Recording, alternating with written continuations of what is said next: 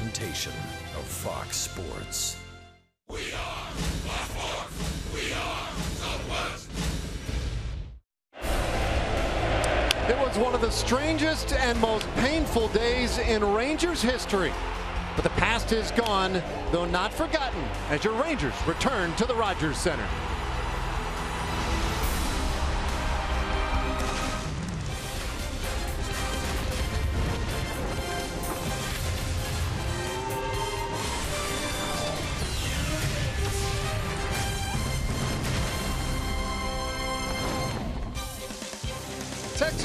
Baseball is presented by AT&T High Speed Internet.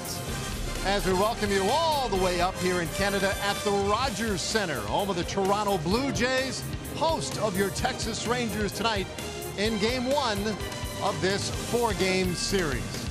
Welcome in everybody. Great to be with you. I'm Dave Raymond with Steve Busby. We are at the scene of the crime, if you will, from last year's Game 5 of the ALDS. Looking forward to the proceedings tonight the rest of this week. Also excited for Elvis Andrus, who was named Player of the Month. Well, you know, Elvis was besieged by questions. How will that seventh inning last year affect him? Elvis has very effectively answered all those questions, not with the words he said, but with his bat and with his glove. Played the best that he has played in a single month. And he was so honored as the uh, Rangers Player of the Month for the month of April. Those numbers speak for themselves. But the attitude that Elvis has taken out there, saying, look, whatever happened is in the past. I'm a better player than what I showed, and here's the numbers to prove it. Yeah, and showing some real maturity in this situation. I know he's going to be really excited to get this one behind him tonight. We're almost ready to go. Back with more in just a moment.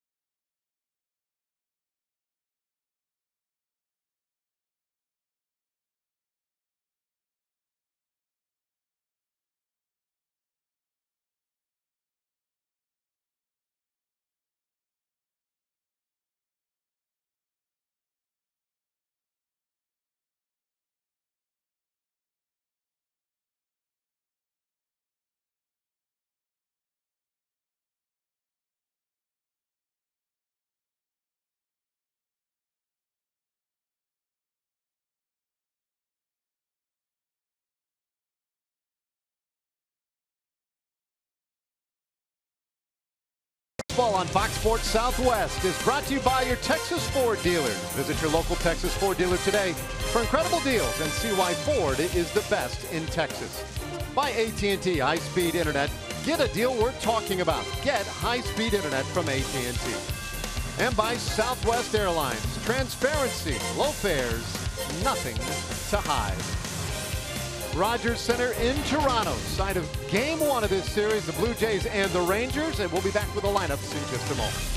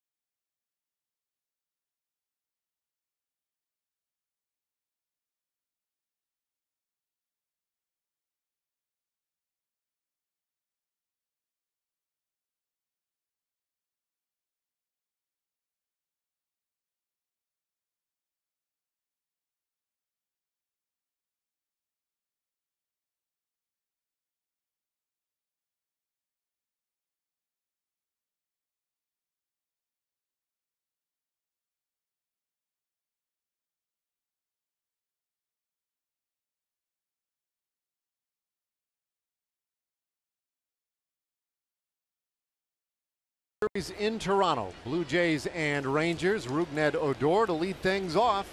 And R.A. Dickey starts us with a knuckleball for ball one. Odor in that leadoff spot again tonight. 283 average. Three home runs. Up there, Hacking. It's one and one. Hey, take a look at the 41-year-old R.A. Dickey, former Ranger, former Ranger number one draft pick, and he has turned in a pretty good career since he got that flutter ball going when he was with the the Mets. He had his best year. He was the uh, National League Cy Young Award winner back in 2012. He will test a hitter's patience trying to fight off that knuckleball, and there are all kinds of things that hitters will do. Different hitters tell you different philosophies about trying to hit a, a knuckleball, and it's interesting. Uh, we talked about uh, we talked to a number of the Ranger hitters today. We'll kind of uh, as they come up, we'll let you know what their theory on hitting the knuckleball is. Odor pops this one up. Playable for Troy Tulowitzki, and there's one away. Let's take a look at our Southwest Airlines starting lineups tonight, and we just saw Odor lead things off. Nomar Mazara in right field batting second. Then Beltre fielder Desmond in the heart of things. Mitch Moreland is the DH tonight, bat sixth. Elvis Andrus, Brett Nicholas, and Delino DeShields round things out tonight for the Rangers.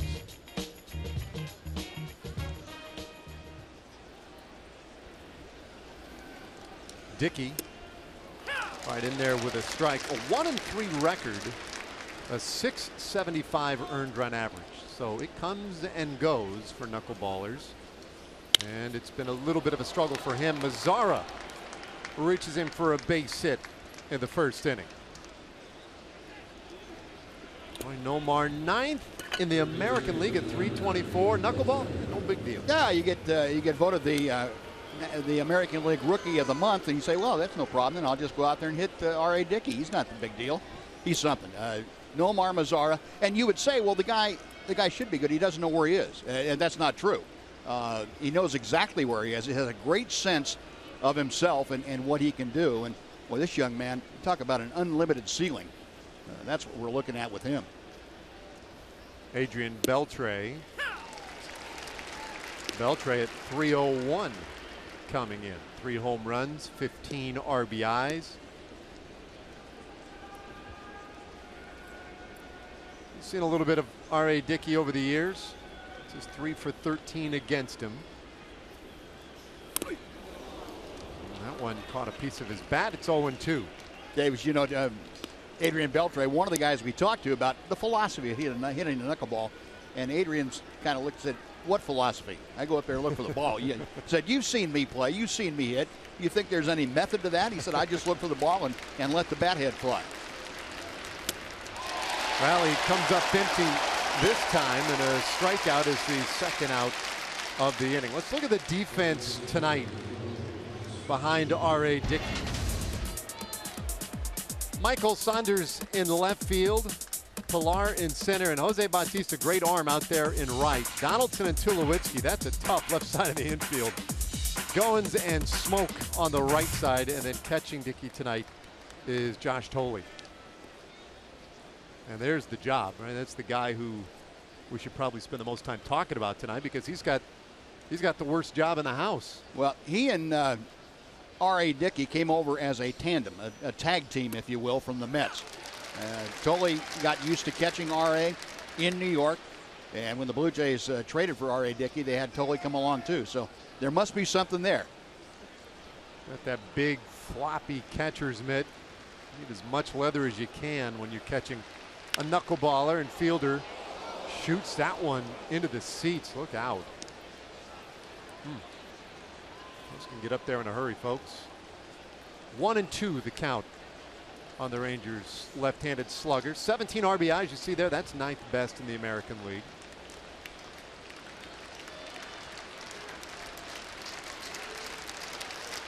So Mazara's at first with two away. And Fielder will get another shot. Yeah, Dave, I find it interesting. We've talked about uh, with Prince Fielder and the shifts, the preponderance of shifts all around baseball.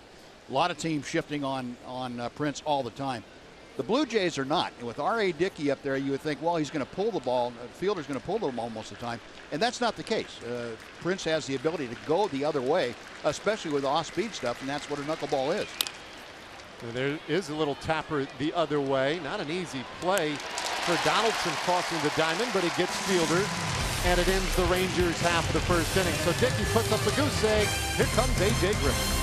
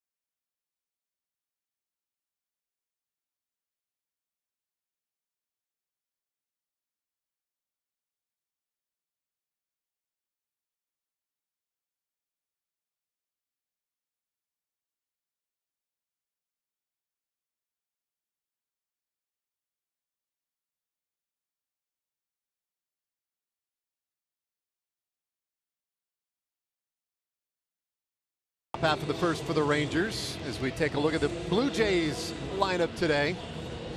Michael Saunders, he's had a big year in the top spot of the order in left field. Josh Donaldson, bigger yet at third base. Bautista Encarnacion and then Troy Tulowitzki in the heart of the order. Justin Smoak, Ryan Goins. And then it's Kevin Pillar and the catcher, Josh Thole, at the bottom of the order for Toronto. The Blue Jays offense looking to get things going. It has been very slow start for them. And A.J. Griffin ready to go. And he gets strike one. That lineup facing A.J. Griffin, and A.J. has uh, gotten better each time out. This is fifth start, 3 and 0, and uh, last time out, eight, inning, eight solid innings uh, of work, and that was his best outing since uh, since he had surgery two years ago. Just a 189 opponent's average against him. So, well, the Rangers uh, really found a gold mine, at, at least at first blush, in A.J. Griffin. Get Saunders to wave at a high fastball, and it's 0 2. Saunders at 303 average, but as the leadoff guy, he's slugging the ball. You see the four home runs. He's eighth in the American League with a 566 slugging. And it's one and two. You look at it, Buzz, when, when I penciled in the lineups today, well, Saunders is doing pretty well. Obviously, Josh Donaldson's as good as it gets right now. Right. It's not like Bautista's struggling. He's not his himself at this point. You wonder why is this offense struggling so badly as Saunders strikes out swinging one away? Well, part of it, Dave, was if you look at the series they just completed down in Tampa Bay. Uh, in a three-game series, they had a total of 15 hits. Eight of them were home runs, but only 15 hits. So it's all or nothing, it seems like, with uh, John Gibbons' lineup. Uh, and it's going to be that way for a little while until Encarnacion and Tulowitzki get going. This lineup uh, can very much be pitched to, but when those two guys get going, then look out. All bets are off. The dangerous Josh Donaldson. He takes ball one. Donaldson 293, but a league best nine home runs. And it's one and one.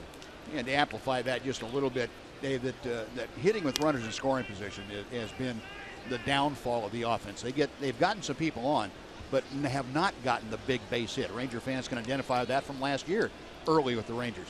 The other thing is the bullpen, and hopefully the Rangers Yeah. will get into that bullpen. The bullpen has been just miserable uh, for John Gibbons' club. That'll be a big key to this series as Griffin comes in a little tight. That was a bit of an extra long look by Donaldson. And, and this is, here we go, Buzz. You would anticipate everybody's going to be a little touchy Yeah.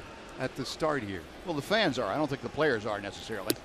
Big curveball, and that just misses a little high. Well, I like the looks of that thing.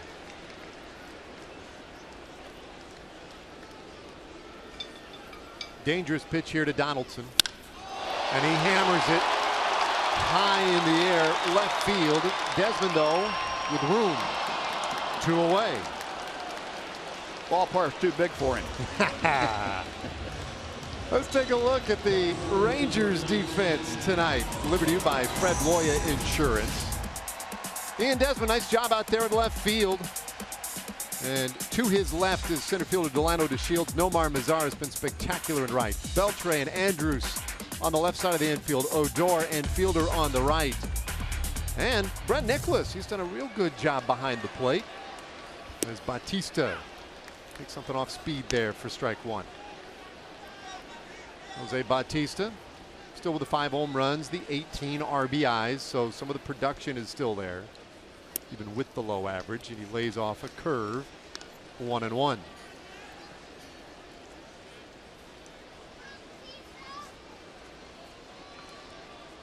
A lot of people choosing not to to pitch him too aggressively, and he'll bounce this one right to Beltre. Takes his time, and it's a three up, three down. Top of the first for A.J. Griffin. Scoreless game to the second.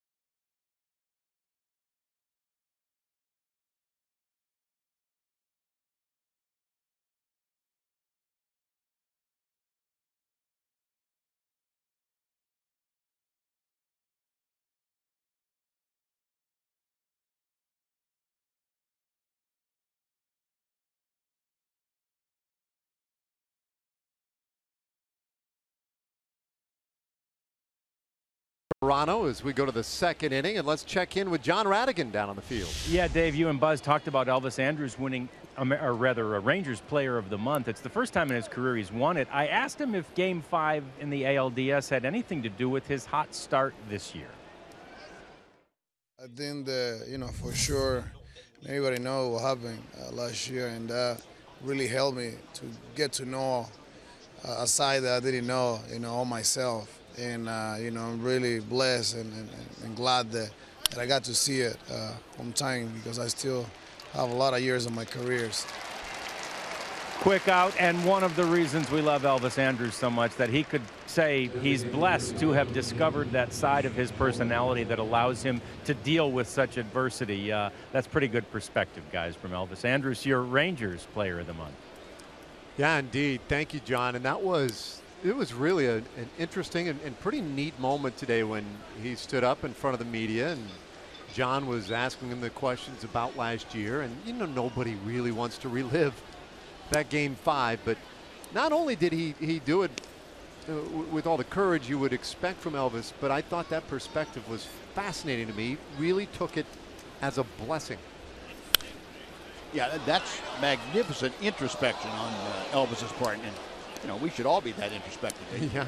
You know, he's Elvis has really, really matured a lot, and uh, uh, it, it, shows in his play. I think, David, and he's the first to recognize that what's happened this year to him is his focus is much more tuned to doing his job on a daily basis. He said, you know, before I'd, I'd have lapses of concentration and that kind of thing, but he said the failure uh, that, that allowed him to see that side of himself made made him want to focus on every single pitch and be a, as good a ball player as he can be.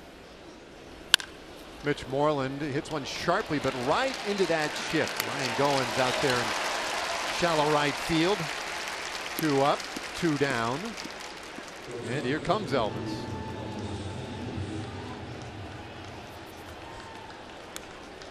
Well, what an April it was.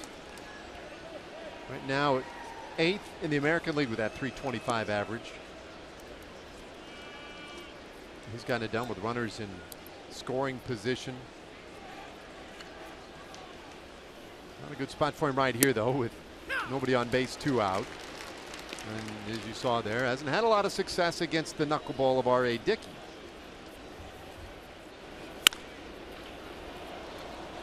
In a hole here, 0-2.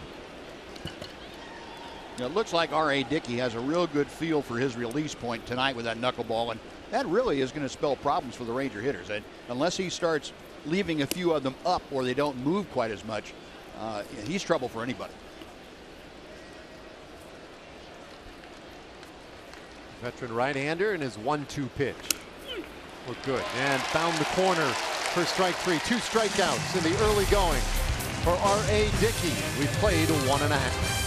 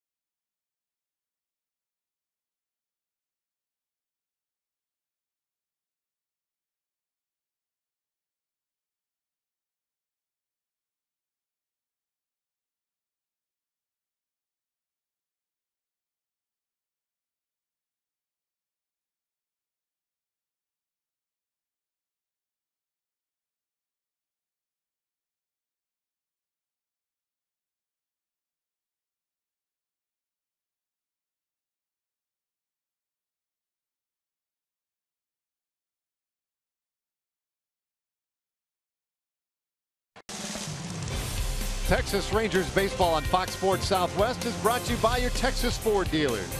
Visit your local Texas Ford dealer today for incredible deals and see why Ford is the best in Texas. And we're a long way from Texas at the moment, way up here in Canada. The Rogers Center in Toronto as Edwin Encarnacion takes strike one in the bottom of the second inning. Dave Raymond, Steve Busby, Tom Grieve getting a well-deserved couple of days off. He is. He's going to make good use of his time. He's going to do a little family PR. Go up to uh, Massachusetts and uh, and visit with his with his folks up there. One one and a big looping curveball in there, strike two. I love that pitch. Boy, you talk about changing speeds effectively. AJ has gotten more and more comfortable getting all three of his pitches over. And they have such a wide variation uh, in speed and movement. And he's really tough to zero in on. Encarnacion late on that fastball and shanks it foul down the line. One and two the count. People always ask the question about AJ Griffin. Well, what is he now compared to what he was with Oakland when he won 21 games in a year and a half? He's the same pitcher. Uh, he's three years older, but you look at him now, you look at him in, he has the same capability of dominating any ball game. And a good fastball. That one's just a little bit tight. He was part of that staff in Oakland that came up. Uh, Sonny Gray and uh, Jarrod Parker, uh, Tommy Milone, all those guys came through the organization. Had great changeups, a great sense of how to pitch, and AJ does it as well as anybody. Well, I was going to ask you that, Buzz, as as a former pitcher, when you watch guys throw in, in today's game, it's so driven by power pitching, right? It's right. all uh, the Noah Syndergaards and the sure. just the, the flamethrowers. Do you enjoy watching guys like Griffin as much, if not more, than the, than the power throwers? Or? Yeah, I really do. I, I appreciate the art of pitching, and that's what guys like AJ have to do, and they have developed it. When you get to the big leagues and you don't throw exceptionally hard, you had to have developed that that art, the feel of pitching significantly well. Well, he gets Encarnacion to flare one right to Odor. And there's our first out in the bottom of the second inning. And it's fun. I you know, there's nothing wrong with uh, seeing guys light up the radar gun. Now, there's a pitch he got away with uh, pretty much in the middle of the plate, but Encarnacion jammed himself, went out over the plate with his hands, and hit him down below the trademark, got a little limp line drive. But that's what AJ can do. And change of speeds, a little on, a little off, different, different rotation on the ball, and he can make some mistakes and get away with them, where other guys couldn't necessarily. Now that that last pitch right there, 85 miles per hour, mm-hmm. had a little hump in it. That's right. not that big curve. Is that a, a slider? What is he? Slider cutter, uh, okay. hybrid hybrid type pitch. I think he's going to call that the cutter, uh, like that one right there. Um, and that's a compliment to his natural two-seam fastball that runs into a right-hander. This one will run into a left-hander a little bit, be a little bit slower, but not that much. And again, the art of pitching. You know, he's taken a fastball and made it basically three different pitches. Pop up by Tulowitzki. And that one just beyond the reach of Beltre and Nicholas.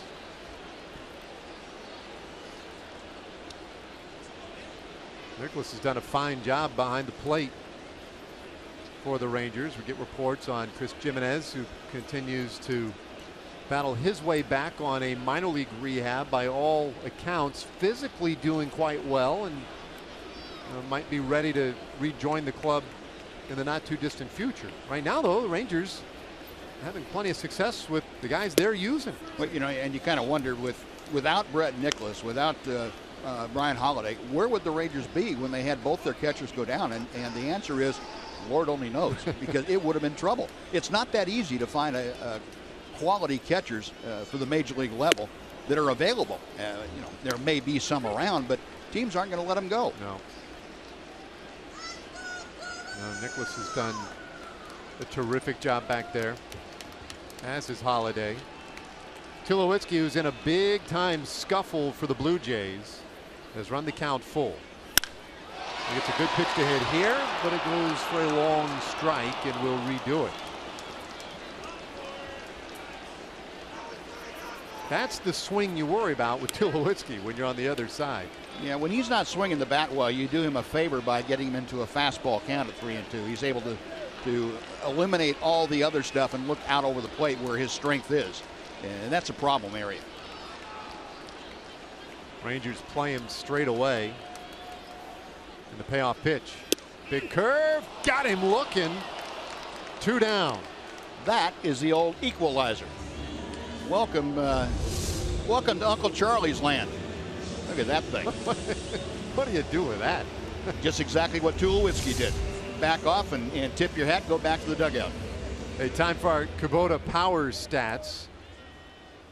Look at these earned run averages for starting staffs in the American League. Rangers just a skosh behind the Chicago White Sox, who have been one of these stories in the American League. Toronto not that far behind, fifth in the circuit. So we might get ourselves a couple of good pitchers duels in this four game series. One and one on Justin Smoak. Yeah, as we mentioned, talking about the Toronto Blue Jays, where they are, starters have been great uh, for Toronto. The bullpen has really been a trouble spot.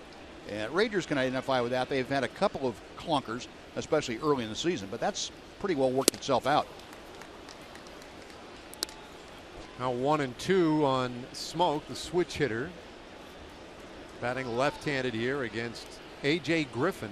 Smoak at just 189 for the year. Boy, the bottom of the order averages are just pitiful for the Blue Jays Is that one It's in there a little tight on it.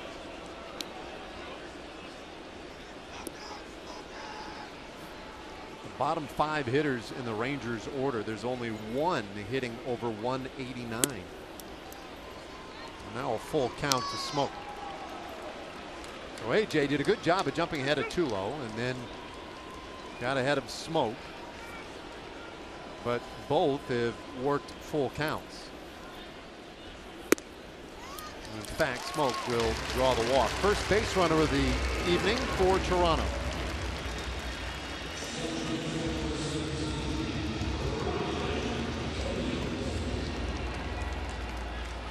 Bring up Ryan Goins, left-handed hitting second baseman. And you can see it does not come easily for him in 2016.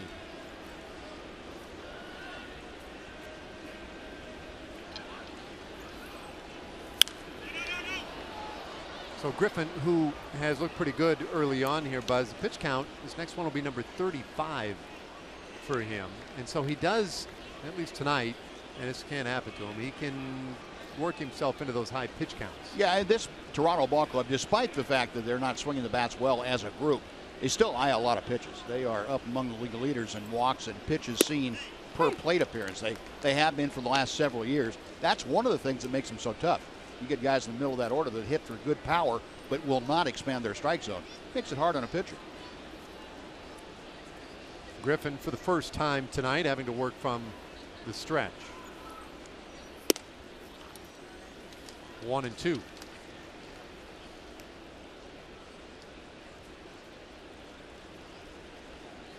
Blue Jays come in 12 wins, 14 losses. They're three and a half back of the Red Sox. They're in third place in the American League East, and Goins sends this one up into the seats.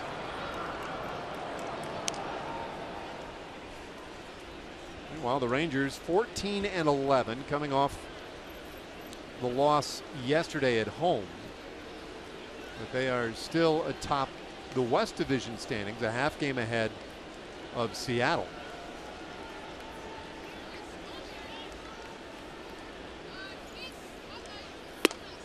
Goins, strikes out swinging. Third strikeout of the evening for A.J. Griffin. And we've got two scoreless in the books.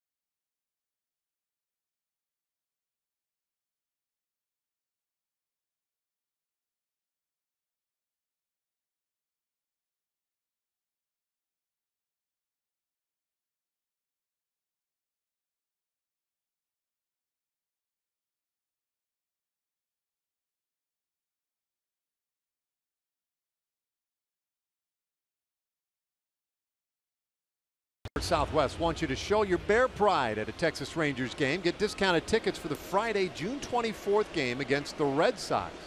First 4,000 fans with a Baylor ticket at the park that night gets a free Rangers cap in bear green and gold colors. Go to texasrangers.com slash Baylor for details. Brett Nicholas leading things off in this third inning for the Rangers. Then Delino DeShields in the ninth spot in the order. And it'll turn over for the first time tonight against right-hander R.A. Dickey. It's a knuckleball to drop in there for strike one.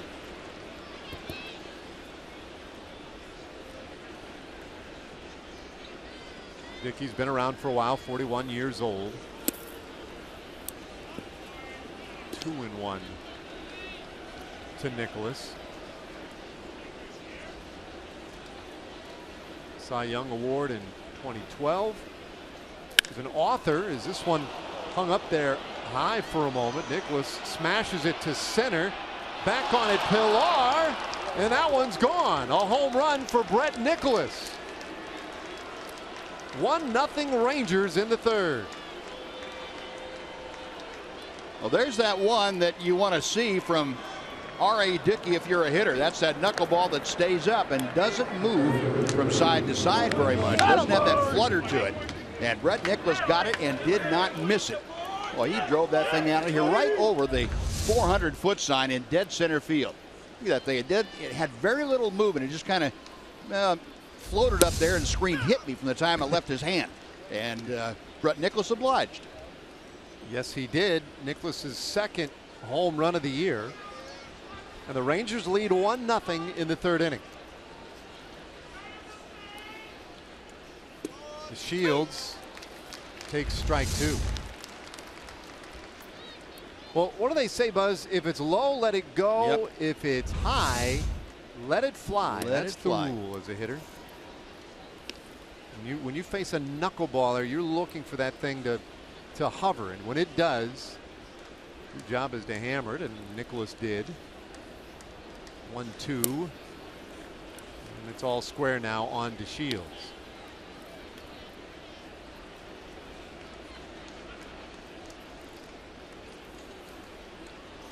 Lino now batting in the ninth spot in the order. Just trying to get himself back on track. Last couple of days have been pretty good for him. Three hits in the last two games. And he shoots this one to the right side, drops in, base hit. And the Rangers have great speed on first base now in the third inning. Let's take a quick break, send it back to Dana Larson in the studios for a Chevy game break.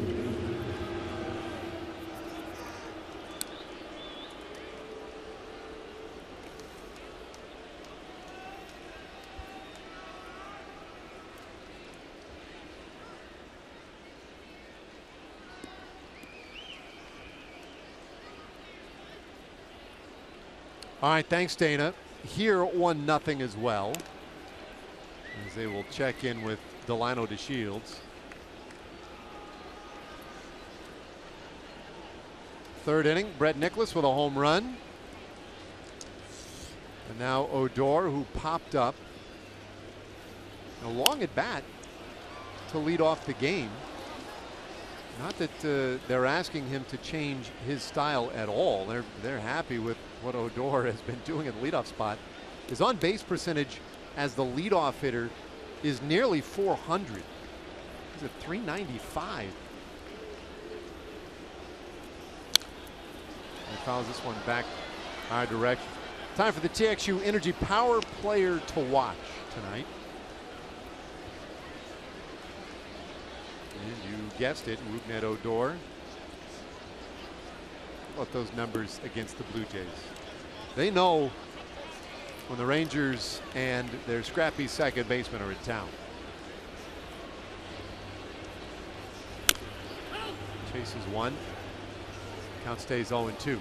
Yeah, when uh, we were down there listening to Jeff Banister ask, answer questions and the subject of Rougned coming up as a leadoff man, and I think the gist of what Jeff said was that if he's going to go three for five, he can hit leadoff all he wants. You know, I, I'm happy with him up there. That's fine. Yeah, that, that's all he's done the last two days. Yeah. Three for five, three for five. All right. Tell you what, Why don't you write up the lineup card and put yourself wherever you want? Yeah. And that works. Well, the versatility of this lineup, and you know, Odor uh, exemplifies it, as does uh, Delino DeShields. You know, they can go top, bottom, they can bruce runs. Just give you all kinds of options. Tapper right back to Dickey, who throws to second, and they do get DeShields for the first out of the inning. that was not a gimme play. Throw arrived with DeShields at the bag. Yeah, RA is really a good fielder, always has been. Uh, able to get the ball quickly and then make that little short, short arm throw, uh, very much like an infielder. And uh, right on the money to Tulowitzki. That, that was not an, you're right, Dave, that was not an easy play for either R.A. Dickey or Troy Tulowitzki. You saw him have to reach almost in front of the sliding liner DeShields to catch that ball. So they get the out, Odor with very good speed at first. That one almost got away from Thole. And if you're wondering about, well, why don't you steal on a knuckleballer? It's got to be tough for the catcher to handle that. R.A. Dickey has not allowed a stolen base in his last 21 games. So his ability to hold runners close and get the ball to home plate in a hurry uh, pretty well knocked off the uh, the running game. Nice played by Bowens to go second one, and the relay from Tulowitzki in time. What a double play by the Blue Jays. So an inning that started with a bang. Brett Nicholas ends with that double play. But the Rangers take the lead, 1-0 as we head to the bottom of the third.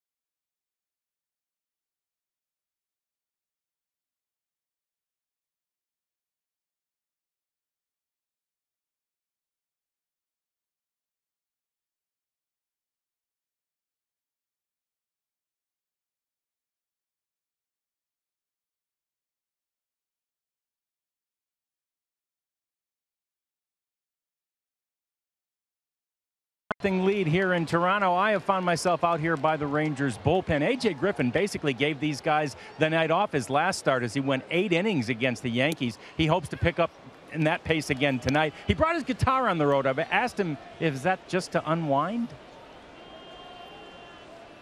I've just always really uh, enjoyed music and everything, and uh, it's kind of like you said, it's a way to kind of just uh, unwind and uh, and think about something other than baseball for a little bit. So uh, yeah, it's uh, it's kind of a therapeutic thing for me to do.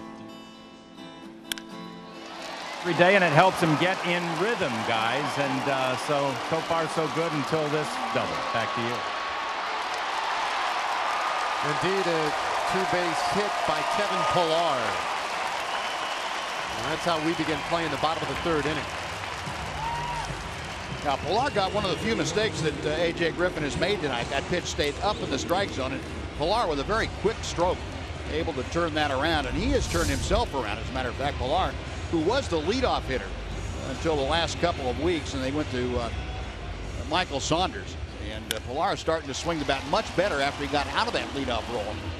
He could turn that fastball around with the best of them. Very good effort right there, too, by Ian Desmond to make that as close as it was at second base. He's in scoring position now. And Griffin with some work to get done. All of a sudden, he'll have a conversation with Brett Nicholas. I remember, I seem to recall Pillar being a pretty big factor in that ALDS last October. He had 70 hits. I say he made a couple of good mm-hmm. plays too. He's kind of a under the radar, uh, you know, force on this team, which is star-studded with the guys like Bautista and Donaldson.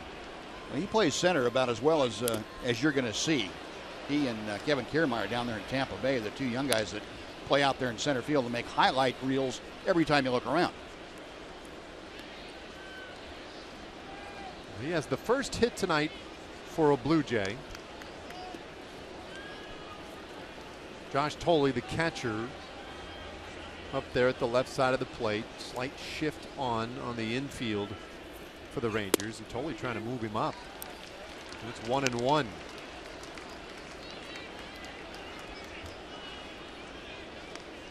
Totally like so many others in this Blue Jays lineup, off to a slow start. 185 average.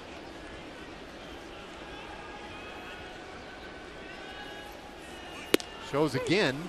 And now the throw back down to second and nowhere near in time. Pillar back in there easily.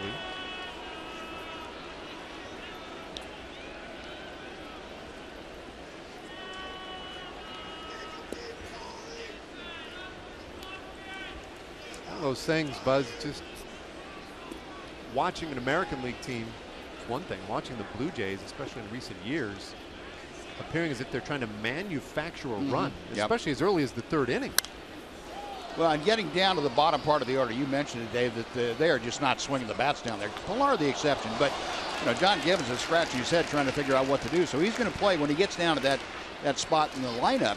He's going to play for one run there. You get it back, you turn the lineup over, get back to the top, and uh, and certainly once you get to Donaldson, let it go. They're waiting for the three-run home run then. But bottom part of the order, especially trailing one nothing in this ballpark, get a run on the board if you can.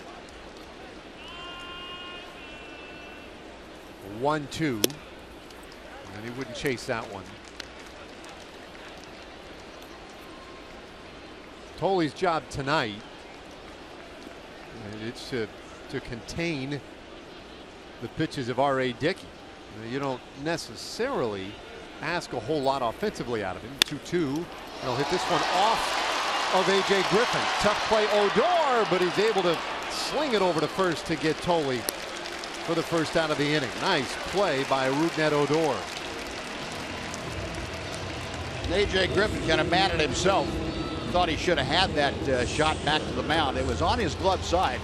And Thole, although it was a one hopper, didn't hit it all that hard. Uh, A.J. reacts to the breaking ball and gets the glove down there and just wasn't able to field it. Had he been able to come up with it, they had Pillar between second and third. He's not even in that shot there. He was uh, headed off toward third base. They would have had him in a rundown and, and possibly, uh, you know, prevented a runner at third with one out. Now the infield in, and this one smashed out into right field. A base hit for Saunders. It gets Pillar home, and this game tied at one.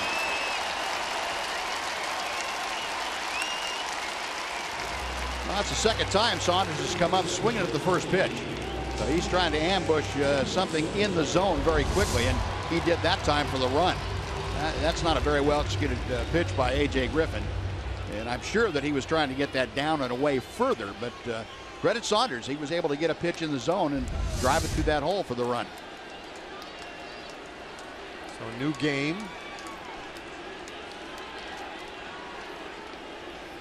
Josh Donaldson, very dangerous at the plate and pounds it down in the dirt foul. Donaldson applied out to Mazara. Pardon me, Desmond in left field. And he got a good swing, just Yeah. missed it. Got under it a little bit. Yeah, and he's swinging the bat well. The one guy in the lineup with Toronto right now that you really have to respect for being hot and being a quality hitter is Josh Donaldson. You don't want him to be in a position where he has people on base and he can hurt you uh, with a long ball. If he's not in that case, you got to work with somebody else. Reigning American League MVP. And there was no doubt about that last year. Huge year for Donaldson. Who got a pitch to hit, but just misses that one. It's one and two. Look at that. A target set down and away, and this one, you'd have to say it's a mistake because A.J. Griffin missed by 17 inches, the full width of the plate, but got away with it. And, and actually, I you know I think Donaldson is probably a better hitter when the ball's away from him than he is when it's in. Got him on the curveball. Two away. Well, that, that's four strikeouts now for AJ. Big slow hook.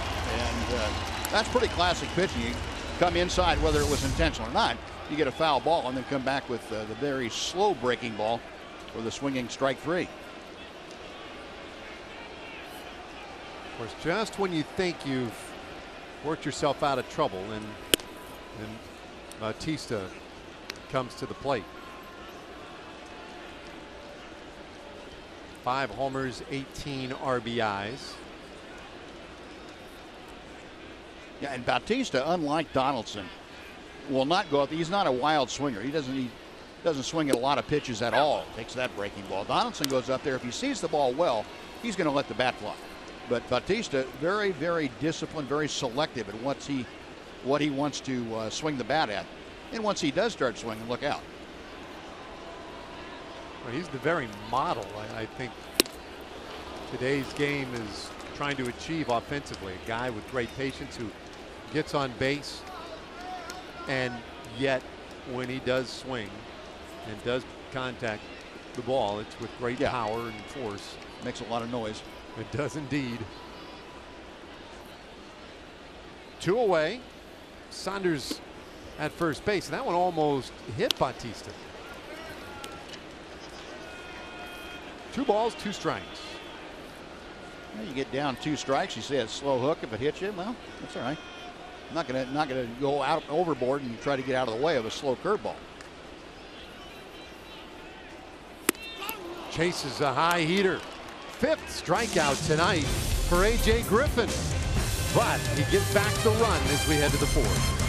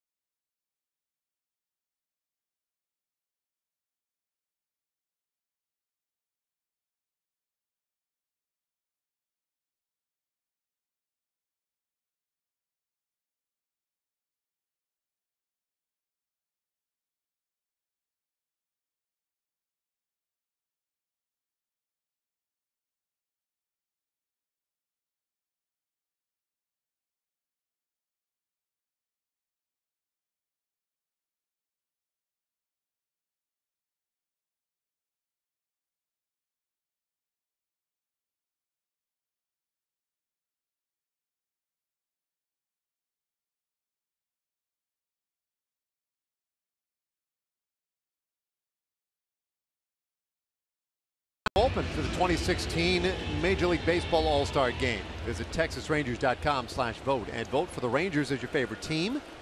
And you'll get an offer for 50% off tickets for select games in August or September. Vote today, vote tomorrow. Vote on online only. Vote for your Rangers at TexasRangers.com slash vote. Bouncer third by Beltre. Donaldson is opposite number.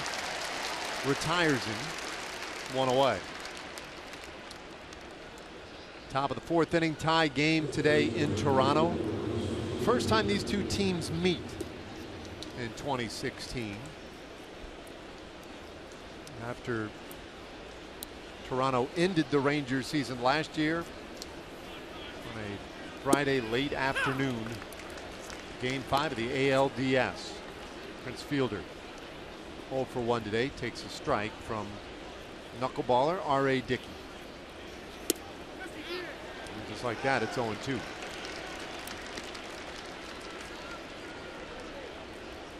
This is Goins to be a game worth getting over for both teams. They just Yeah. just getting through Right. it. that game was filled with so much tension.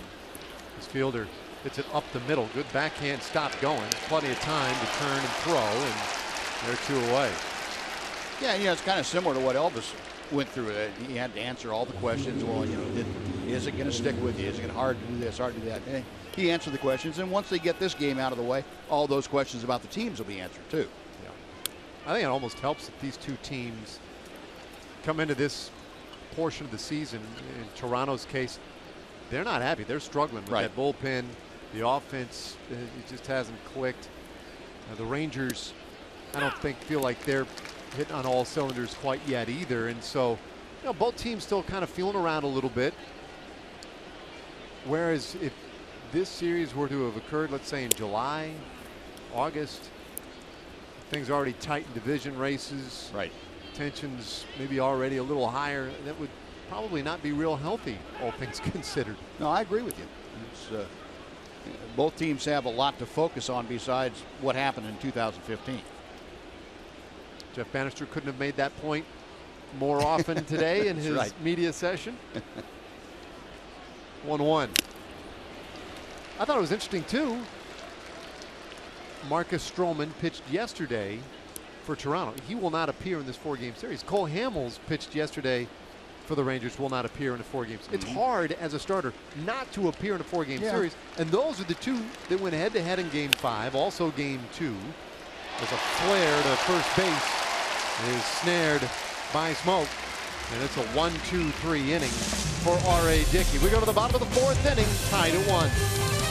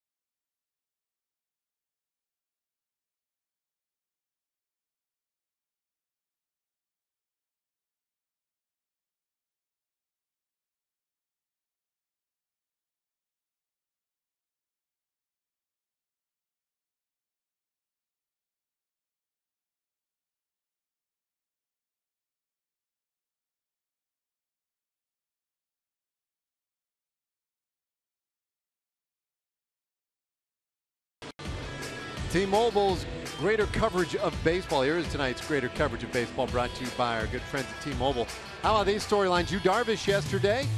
Rehab start for Double A Frisco. Two scoreless innings. 32 pitches look pretty good. Chris Sale is the first six-game winner already for the White Sox, and he hasn't even.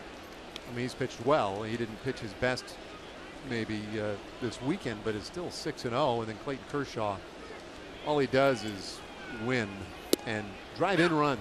Yeah, how about the uh, Highland Park native and, and product? Uh, Clayton uh, kind of the forgotten man after all the hullabaloo about uh, Jake Arrieta and uh, Yeah. Zack Greinke last year, all the all the numbers, and Clayton Kirk, Kershaw is kind of down there in a, in no man's territory. Well, guess what? He showed up again this year. I'm telling you, you- over the span of the last, and, and I look it up to, to get it exactly right, but take like the last four or five years, and, and, and you can get excited about Arrieta if you want, and you get excited about anybody. I get it. I'll take Clayton. I, I, it, and it might be one of the greatest four-year runs, five-year runs that there's been. Yeah, there were some comparisons uh, in Los Angeles. I know when we were out in Anaheim uh, doing, playing the Angels, uh, there were a lot of comparisons in the LA Times. Kershaw and Sandy Koufax, the same developmental stage in their careers. And it was amazing how similar the numbers were. Now, granted, the uh, pitching today and pitching 40 years ago uh, when Sandy was coming up, two totally different animals because of the philosophy behind it. You know, every fourth day Right. with, with Koufax and every five days maybe now. But, you know, how they've been able to dominate, very, very similar for a couple of Dodger left-handers. And I might add that anytime you compare to Koufax, in my estimation, is pretty good. you know, you've done something, something pretty special. Yeah, yeah, I, I would I would agree. It counts. Two strike pitch to Tulowitzki, and Griffin can't get him to chase. Kershaw with a 196 ERA at this point of the year, a three and one record. 54 strikeouts, struck out 301 last year. Tulowitzki struck out in the second inning, 0 for 1. Man, Clayton Kershaw. No, it's and- and incredible. it is, and and you compare him, like you say, you compare him to Sandy Koufax. Hey, look, he's still two years shy of his 30th birthday, Mhm. Yep. and he was a far better hitter Yeah, than, than much better. Koufax or half the guys he faces. Pop up down the right field line, long run, and that is just foul. Well, he's in a real tricky spot out there in right field. Both Odor and Mazara. Yeah, Mazara shading slightly toward right center, so he had forever and a day to go. And uh, Rougned Odor, who has as good a range as any second baseman you're going to see going back on pop-ups, couldn't get there. And if neither one of those guys can get there, I, I think it's uh, a legitimate fall in, no catch. a break for A.J. Griffin, but it was eight inches foul.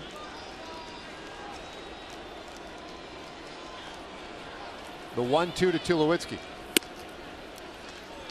Last time he came in on him, got him to foul off a, a good fastball and then just froze him with the big looping curveball. Looks like they're asking for that big one again, and there it is. And this time Tulowitzki chases it. Sixth strikeout for A.J. Griffin. Well, Coca-Cola Family Pack offers savings of up to 50% on tickets, food, kids zone access, souvenir programs, and Coke soft drinks. Family Pack is an ideal way to catch the Rangers while they play the Chicago White Sox May 9th through 11th. Go to texasrangers.com slash special to get your Coca-Cola Family Pack today. Two away and fastball to Justin Smoak up and out. That one at 90 miles per hour. AJ reaching back and getting a little extra right there. Last time out, Davey, he had a couple of fastballs that uh, topped out at 91, and you know he doesn't usually try and let go with his 100% best stuff every pitch uh, like some guys do, but yeah, he's, he's got a little bit extra in the tank when he needs it. And again, that's part of the art of pitching. Yeah. When to when to reach back for something other than uh, the 91. He's topped out tonight at 91 also, but uh, 67 the low, and uh, you're not going to get a speeding ticket most places for that. That differential, though, that's the that's the big key. This one hammered right to Odor, who makes the red basket catch. And it's a one, two, three for A.J. Griffin. We go to the fifth.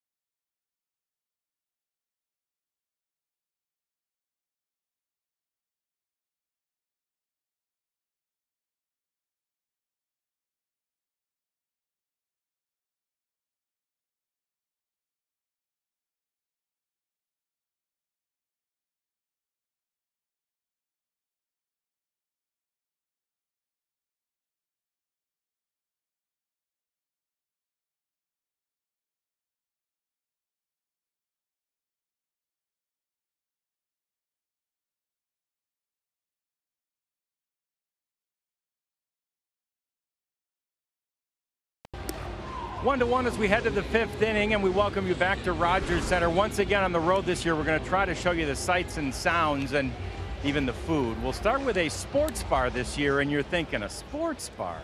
You're better than that, but this is a special sports bar. It's real sports. It's over by the Air Canada Center, and inside it has the largest large screen I have ever seen. Great for watching hockey. Eric Nadel and I plan to spend tomorrow evening after our game watching the end of the Stars game on that huge screen. But you don't go even for that big screen. You go for the food. And I'm telling you, these Canadians know how to prepare it. That's a poutine right there.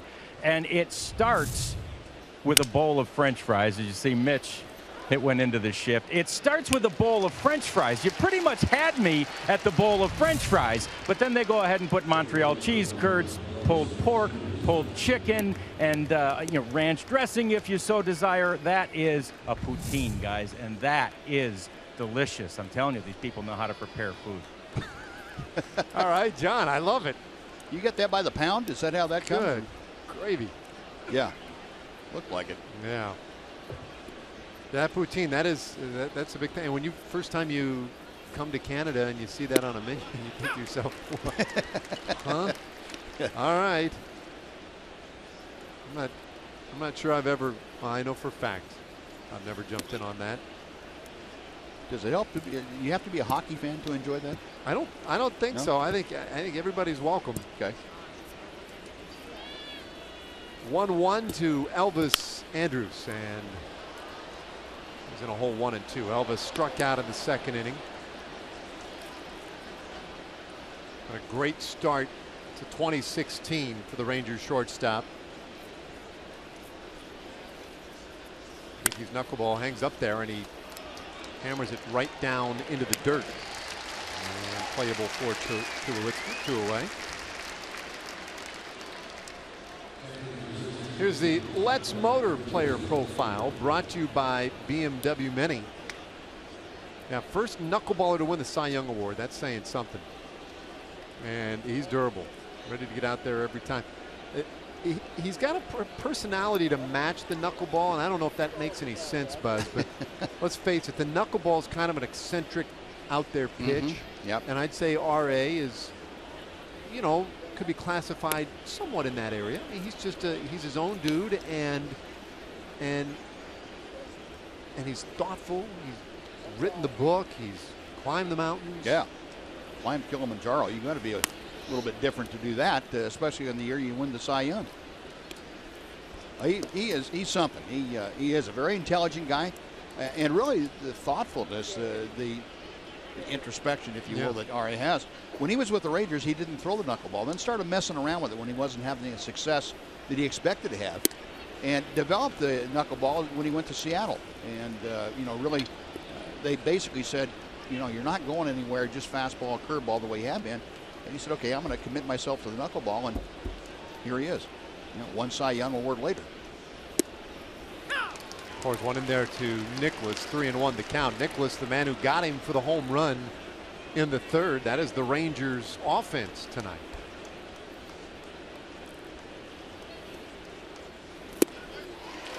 Full count now.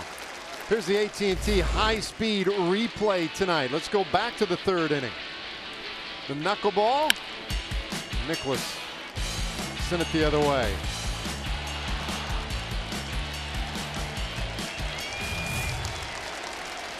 Payoff pitch. And he lost him.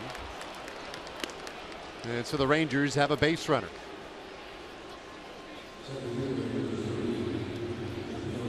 You know, one of the observations I typically make about this place, Buzz, is that when guys hit home runs here, they're second, third deck. I mean, they're loud. Yeah. They get out of here in a hurry. They're they're no doubters. But Nicholas took the other route. he dropped it just a couple feet over that 400 marker out in center field. And that's okay. It counts just the same. He tried to hit the dome with it eh, as high as that thing was, but you know you have to supply all the power when the knuckleball is thrown. You don't have the luxury of connecting solidly to a 95 mile an hour fastball. But yeah, this is a, this is very much a hitter's ballpark, especially when the roof is closed. You know, the ball seems to jump here, and that's why the Blue Jays all love to a man to hit in this ballpark. DeShields had the base hit in the third inning. Getting four hits now in the last, well, just shy of three full games. And he's a guy, I think, you know, when you look overall at this lineup, if he can get going again, somewhere on par with what he did last year and get back in that leadoff spot, boy, does that change the look and feel of this lineup. Mm-hmm. Now they're getting they're getting away with Odor right now in the top spot. He is just killing it, and it's it's been a a good break for Delino to be down at the bottom spot. I don't think there's any question that an ideal world, perfect scenario, has him leading off and creating some havoc on the bases. Yeah, you'd like for him to be at that top spot, get one more at bat per game than he does in the nine spot. But uh, as it is right now, when you have Delino hitting ninth, Odor hitting first, they are hitting back to back. Uh, and in the American League with the DH, you know, it really doesn't matter all that much, not like with, with the National League. And there's something he can do. He's starting to draw the walk a little bit, eyeball more. He's seeing more pitches per at bat now than he was a week ago. Back to back two out walks. Rangers building a little something here for Rougned Odor. Odor 0 for 2 so far. That's that's what you have to do with Dickey, uh, David, is really force yourself to be patient. It may take two at bats, it may take three at bats, but on a night where he has his good knuckleball going, and he has a good one tonight and a good feel for it, uh, you have to hope that you know he's going to hang a few, he's going to get a little bit tired, maybe uh, drop a few in there that don't uh, move quite as much, and then you've got a shot at him. Maybe walk a couple guys, then get a big base hit. Like right now, now the Rangers have been very good with runners in scoring position, and Rougned Odor has been one of the best Rangers in this situation. So perfect opportunity for him to get his first hit of the night. Got a mo modest five game hitting streak on the line, but hitting streak during which he has put up some very good numbers nine hits over those five games. Ball and two strikes on Odor.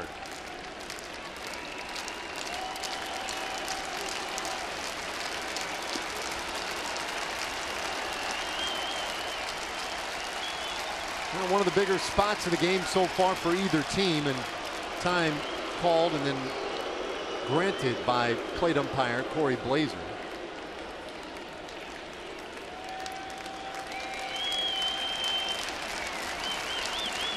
Dickey delivers one and two.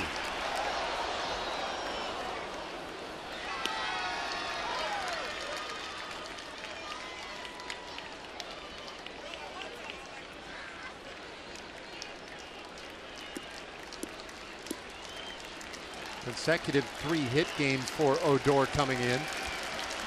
He's seen it well. The one two pitch and he slaps it down that third baseline foul.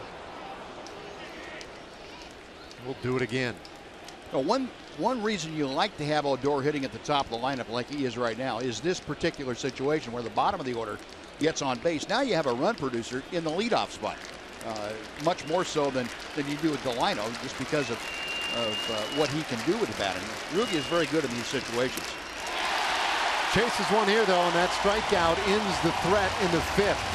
Halfway to the house tonight, tied at one.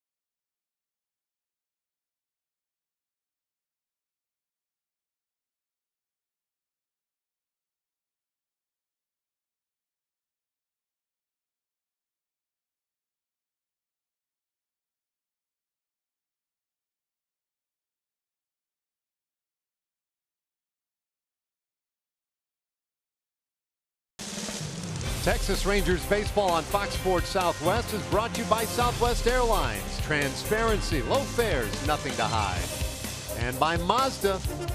In every car we make, we'll see why driving matters.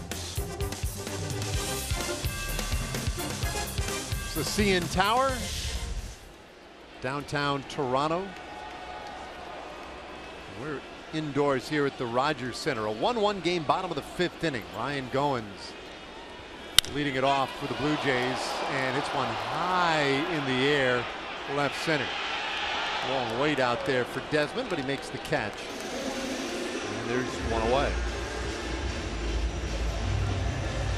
So Griffin now at what, 72 pitches Yep. for the night. Not bad.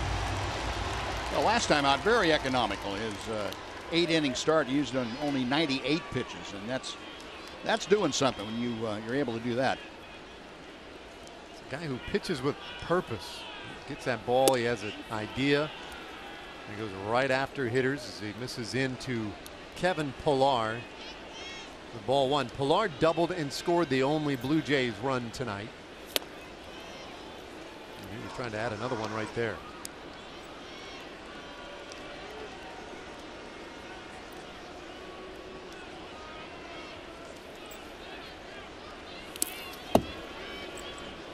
Squeeze that one a little too tight. Two and one.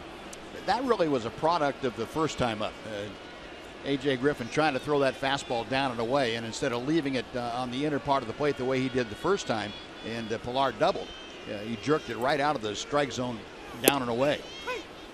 This time pins it right on the corner. Yep. Two and two. That's when, as a pitcher, you kick yourself in behind and say, "Come on, he's not he's not Babe Ruth up there. You don't worry about making a mistake." Big curveball and we'll do it again. You know, when you think about this Toronto team, I think of, I just picture aggression, Mhm. right? I mean, Yep. they, they're up there. And yet, as you pointed out, they take pitches as well as any team in baseball, but they're looking to hammer something. Yeah. And Yeah, I think I think he's a good match for them that way. I, I agree with you, uh, especially fastballs. They love to, to hijack fastballs early in the count, or when it's a when it's a fastball count, two and oh, three and one. And if you if you pitch all day in those situations, Toronto, when they're swinging the basketball, is going to beat you to death.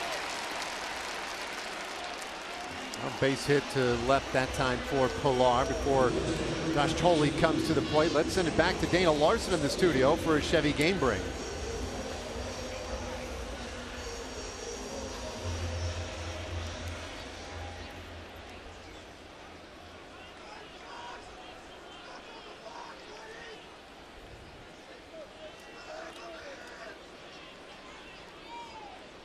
All right, thanks, Dana. The the Angels two games back in the American League West as this one popped up down that third base line, and it is Elvis Andrus, the shortstop, who tracks it down. Much better angle than Beltre had, who was winding around in a figure eight pattern out there. Well, if, if Elvis hadn't been there, Adrian would have figured out some way to catch it. He would have. It's uh, we've seen him make more catches with his back to home plate, just like that. I mean, he would have found a way to, to make the catch, but Elvis was right there and called him off. Said, "Fine, let the younger guy take it." Oftentimes, those two have those great exchanges Yep. out there on pop-ups, and that was one where I know Beltre was happy to see him. two gone. Pillar draw a throw over at first. Michael Saunders, the man at the plate, and he's the man who drove in the run in the third inning. The base hit to right field that scored Pillar from second base. Both times up, he has swung at that first pitch, and uh, you don't want to get him in a situation now where he can do the same thing. And Griffin misses uh, decidedly high and away. And, and, and is that a planned miss yeah, right not there? not by that much. You'd like to be have it close enough to where he could go ahead and swing at it, but you get the ball up. Uh, and for a left-hander, Saunders is better a low ball hitter than he is a high ball hitter. So if you're going to throw one out of the strike zone, you'd rather have it up, but you'd rather have it closer, so that if he chose to swing at it, he could do, go ahead and do it. But he's not going to swing at one that far out. Quality fastball in the outside corner to follow. One and one to count. Fans getting restless those throws over to first. What was that, two? Yeah, uh, they're just restless, period. They- came out, I think it was a hockey fan, uh, crowd. They came out to see a fight break out. Hey, the hockey fans should be happy. They they won the lottery last night. Two and one. Toronto gets the first pick in the draft. Uh, Plus the the Raptors won a game. Yep. They're in a good mood around here. Should be anyway. As Saunders fights one off. Two and two the count.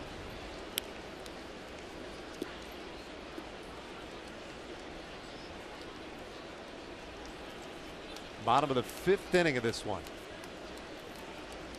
AJ, he's a, a strike away, a one out away from completing five innings. That'd be 33 consecutive starts for him with at least five innings recorded.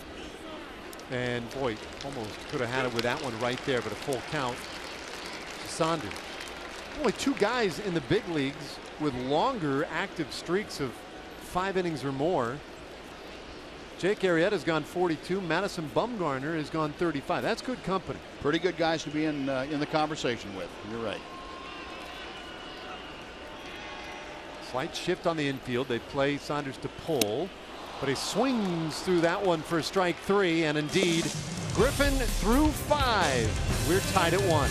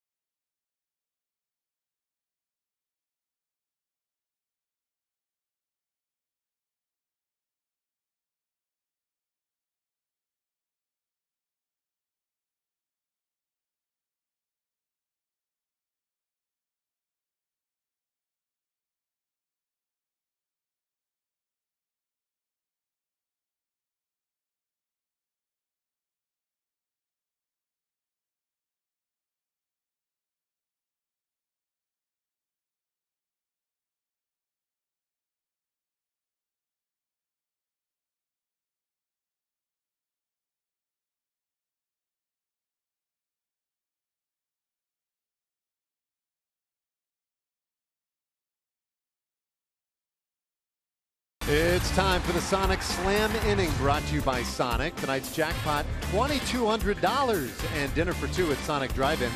If a Ranger hits a home run during this inning, Christy Power of Haltom City, Texas will win 2,200 bucks. And if a Ranger hits a grand slam this inning, well, Christy wins $25,000. You can register at any participating Sonic restaurant. And lucky for her, it's 2-3-4 this inning. Nomar Mazara takes strike one from R.A. Dickey. And part of the deal, Christy wins that 25000 and she's buying us dinner. That's right. At Sonic.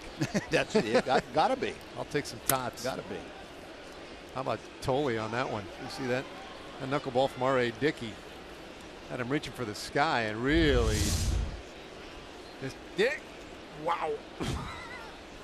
Yeah, he gets that glove. You're going up, reaching up for it, and the glove gets right in front of his eyes, and he can't see the ball anymore. And it, it's too late once the glove his eyes. Oh, man.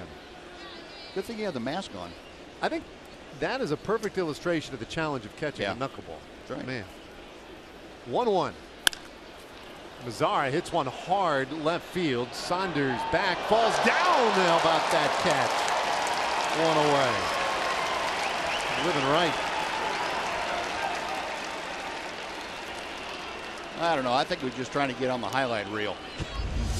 Trying to turn an easy play into a circus play. That, that is a good play, though, by Michael Saunders to uh, be able to turn and go back to a spot and then trip and then catch the ball. Mm. That's a good play. Might give R.A. Dickey a palpitation or two. He's trying to will that one into Saunders' glove. Now one gone. Beltre hitless in two tries tonight, and he hammers that one to third, but Donaldson is there, two away. Wow. I mean, you can't hit it better than that. Nope. Well, Adrian has done this to a lot of people in his time, but uh, good play by Josh Donaldson. A well-timed jump and a hard smash. That's that's a good approach by Adrian. He got a pitch up that he can handle and really made good contact. Like you said, he just looks for the ball and hopes to get it in the middle of the bat. Well, two quick outs and 0 1 to Fielder. Whoa, there goes the bat.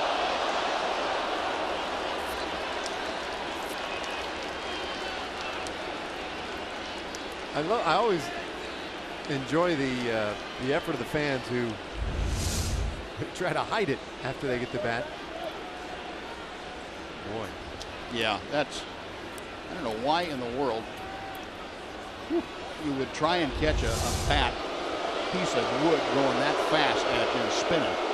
Fortunately, nobody was hurt. Two strike pitch, and that one hit well down the right field line and into the corner. Fielder will have a book rule double.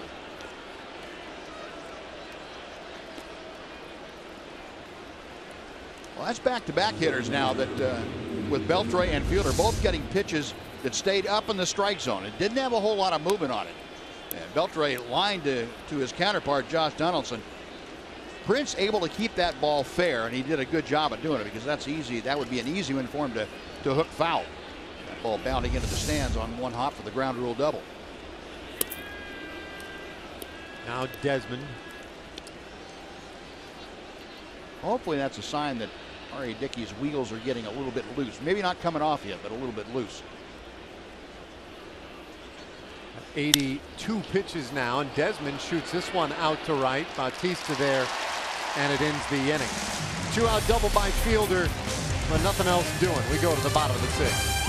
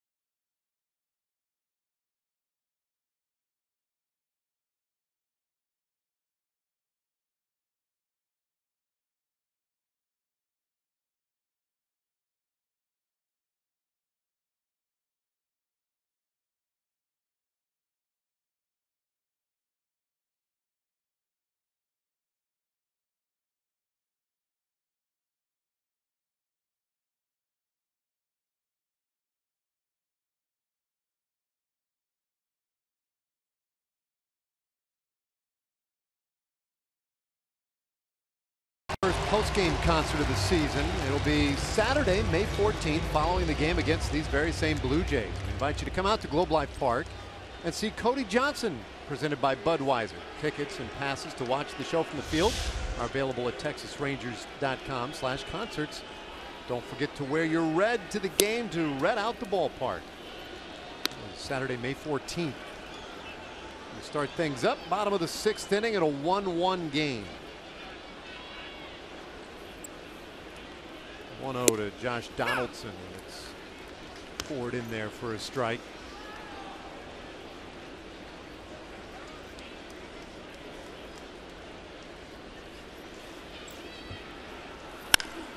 This one bounced sharply down to third. Long throw Beltre, and it's true.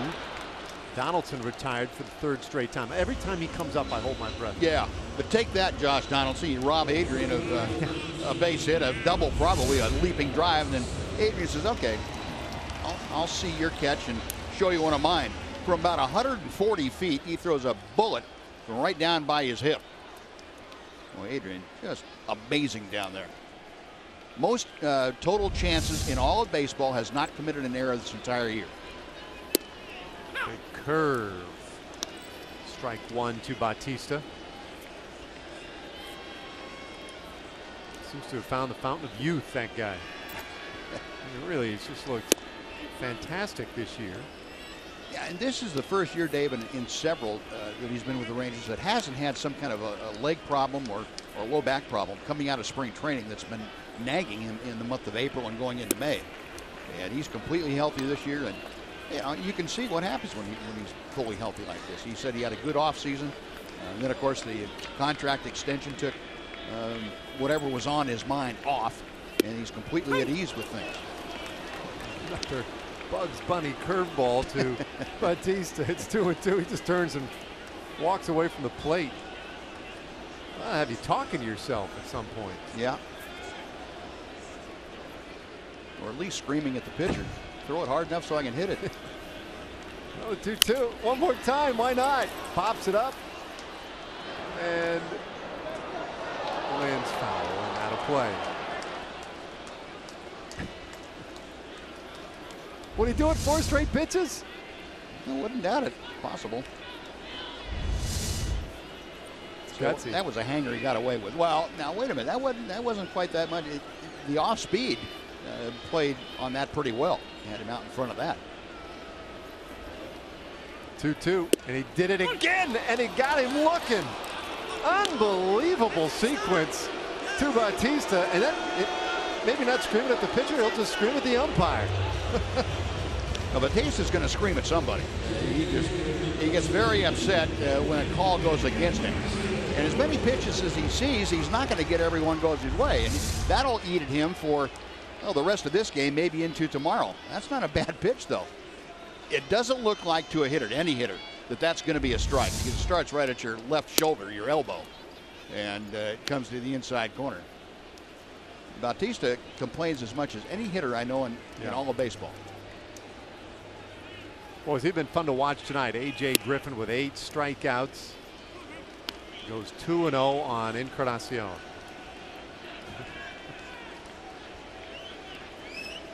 Humble. Couldn't, couldn't be happier for him.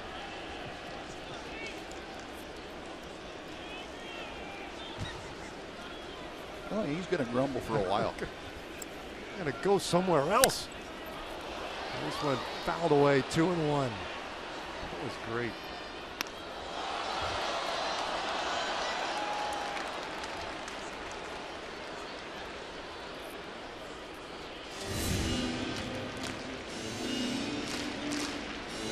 Brett Nicholas out there to suggest that to AJ that he not throw that same pitch in the same location to Encarnacion. Encarnacion may not be swinging the bat well, but let's not try that again.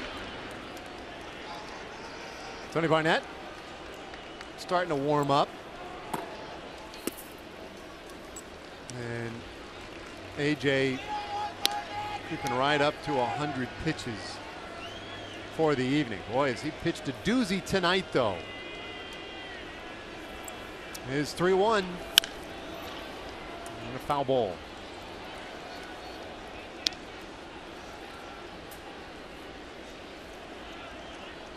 Now that second inning, Issued the walk to Smoak. That was inning. He jumped ahead of Tulowitzki mm-hmm. 0-2, Smoak 0-2. Both of them worked the count full. Right. It's payoff pitch. Curveball. Ooh, just missed.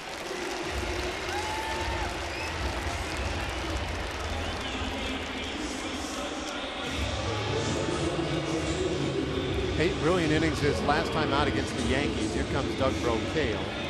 We'll see if he can nurse him through six tonight. Now, he's got Tulowitzki at the plate, and uh, I think Doug just going out there to you know, maybe say, okay, look, this is your last guy, or, or this is the guy we need for you to get, implying that this is your last guy. And I think AJ then uh, says, okay, let's let's really bear down on this and, and make some quality pitches to get out of this inning.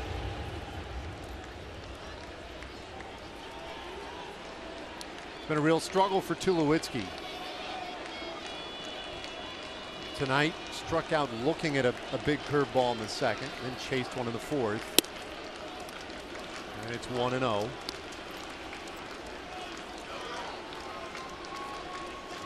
0. And you got to be careful with Tulowitzki. As the game goes on, he gets into it more mentally, and he has some of his best games late in the game. The more at bats he gets, the more dangerous he becomes. And make no mistake, the, the low average doesn't mean that he can't still hurt you with one big swing. Five mm-hmm. home runs this year, 13 RBIs. So he has managed to come up with that big hit when needed. Griffin trying to work through his sixth inning. It's now two and one to the Blue Jays shortstop, Troy Tulowitzki. Boy, was that a big move last year when they traded for Tulowitzki. Just ignited this Blue Jays team down the stretch. Three and one. Yeah, I, I thought at the time, Dave, probably the biggest surprise of the trade deadline moves. Uh, you know, after after the Blue Jays looked like they were not going to go with anybody new, they swing that trade for Tulowitzki, Yeah. and boy, what a what a shocker that was. Griffin's 3 1. And it's a full count.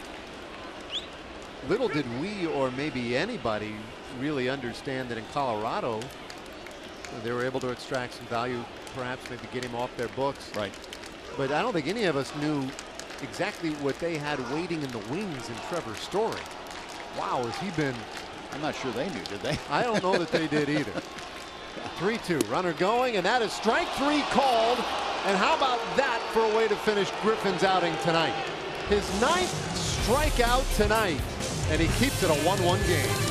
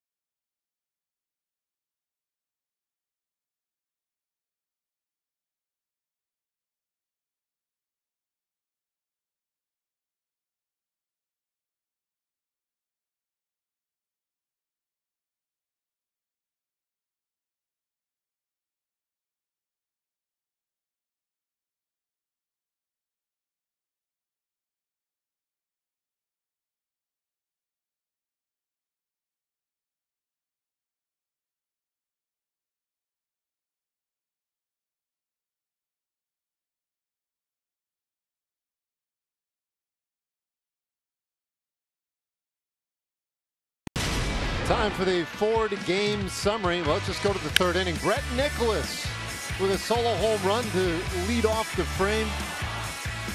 and that made it 1 nothing Rangers. Well, bottom of the third, a double opened it, and then later Michael Saunders with that base hit. Brought Kevin Pillar home from third, made it a one-to-one game, and that is it.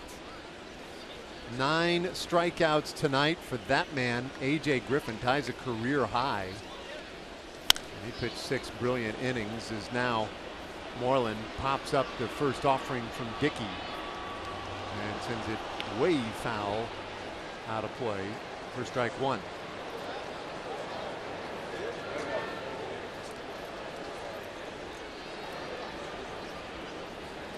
Moreland twice tonight is grounded out to second base. They do employ that big shift with three infielders over on the right side against him. Goins has been able to track it down though. This one goes the other way and will be trouble. Infield hit for Mitch Moreland. Not that that was exactly the plan for Moreland, as you can tell by the smiles on his face there, but it works out. A little roller.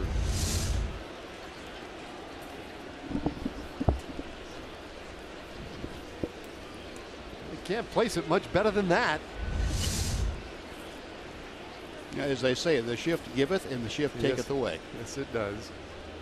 A runner on now, and here's Elvis, who shows bunt. And this one gets away from Thole. Well, Moreland able to race up to second base on the wild pitch.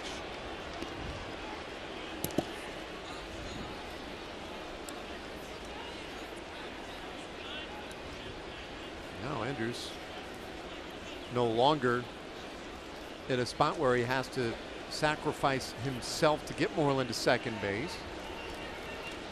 And Elvis, as you pointed out earlier, he leads the American League with runners in scoring position, a 500 average in these spots.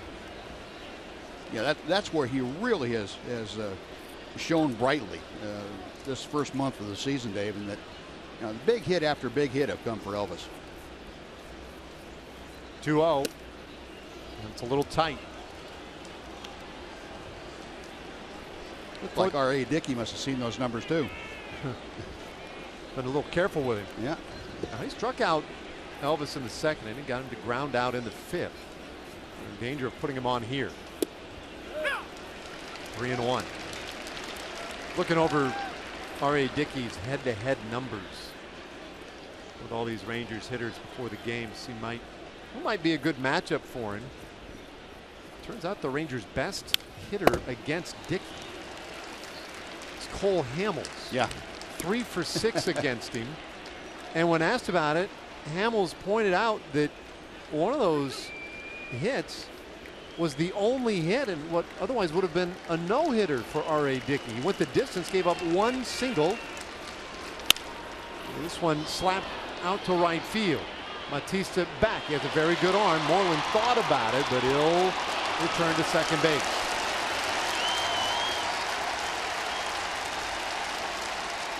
Be careful with that guy. And the Chicago White Sox ready to take on your Texas Rangers on Tuesday, May 10th. First 20,000 fans at the game on May 10th will receive an MLB Network Rangers AL West Champs tote bag. Visit TexasRangers.com or call 972 Rangers to get your tickets today.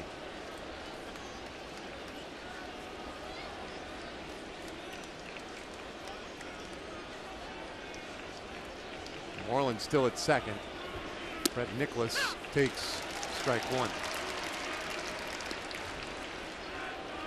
So it was mid-August, six years ago.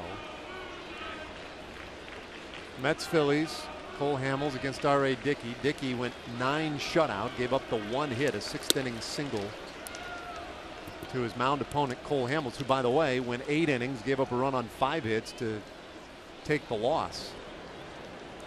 So Hamels asked like, well, well, what's your skill there against knuckleballs? Why is that? Is it an easy thing for you? What's the deal? He said, I, I think of it as wiffle ball. I just think of Yeah. it as simple as wiffle ball. Just wait for it and then just slap at it. Just whack it. Three for six against him. So much for all the advanced theories on how to hit. 2 1. That's way upstairs. So Dickey continuing to fall behind hitters as this game advances in innings. They do have activity in that bullpen.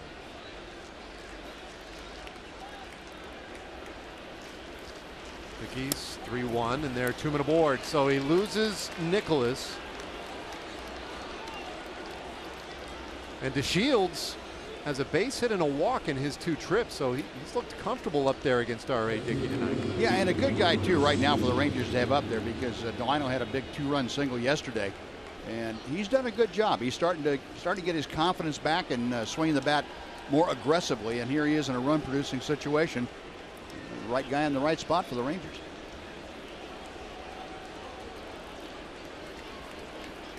Dickey's first offering, and Shields was trying to put that one in the seats. Yeah, that was a that was a good one for him to handle too. One of those ones that stayed up a little bit, didn't have a, a whole lot of movement to it.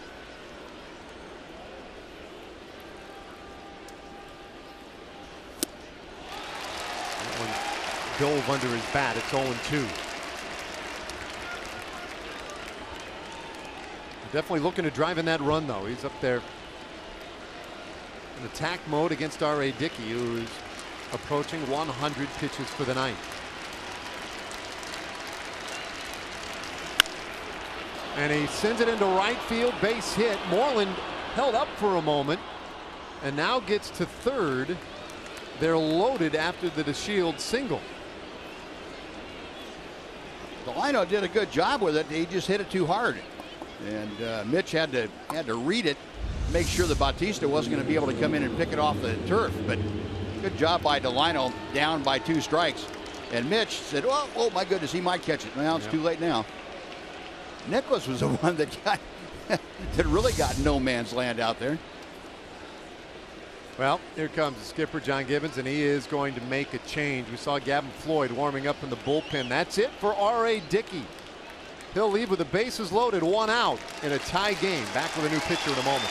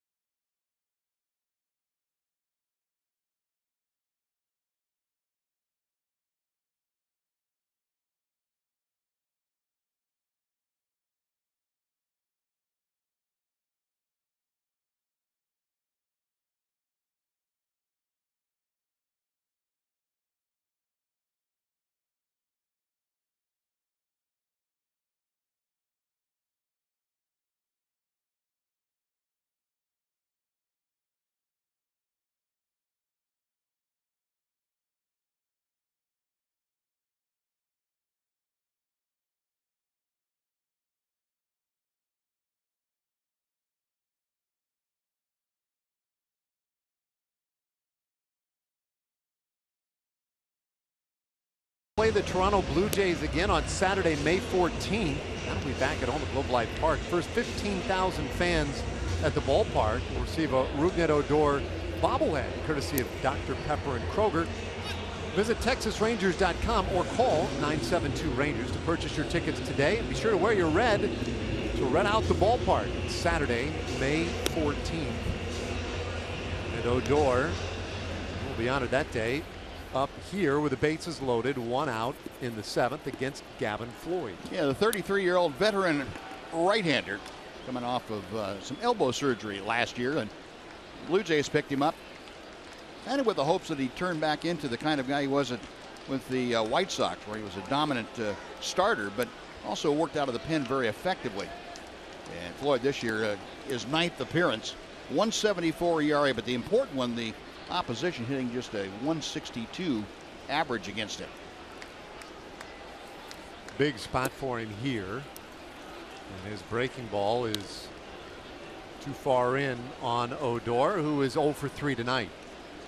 And we'll remind folks that this is the what has been the weak spot for the Blue Jays. Their bullpen has really struggled in the first month of the season. Maybe with the exception of Gavin Floyd. And this is a high leverage spot, so the perfect spot for Gibbons to get him in in this one. Yeah, Gavin Floyd and, and uh, Osuna, their closer, the only two down there that really have done a good job. The highest average this year in the American League with runners in scoring position. The Rangers trailing only Baltimore in that category, 304. AL average is 243. The Rangers doing a very good job of getting the runs home when they have the opportunity. And Elvis Andrus, the best at it, maybe second best right now is this guy, Rougned Odor. It's two and one. Uh, he has excelled in these spots.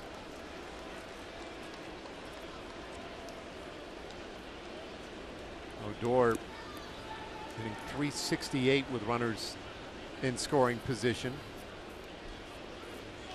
He's got runners everywhere at the moment. Floyd's 2 1.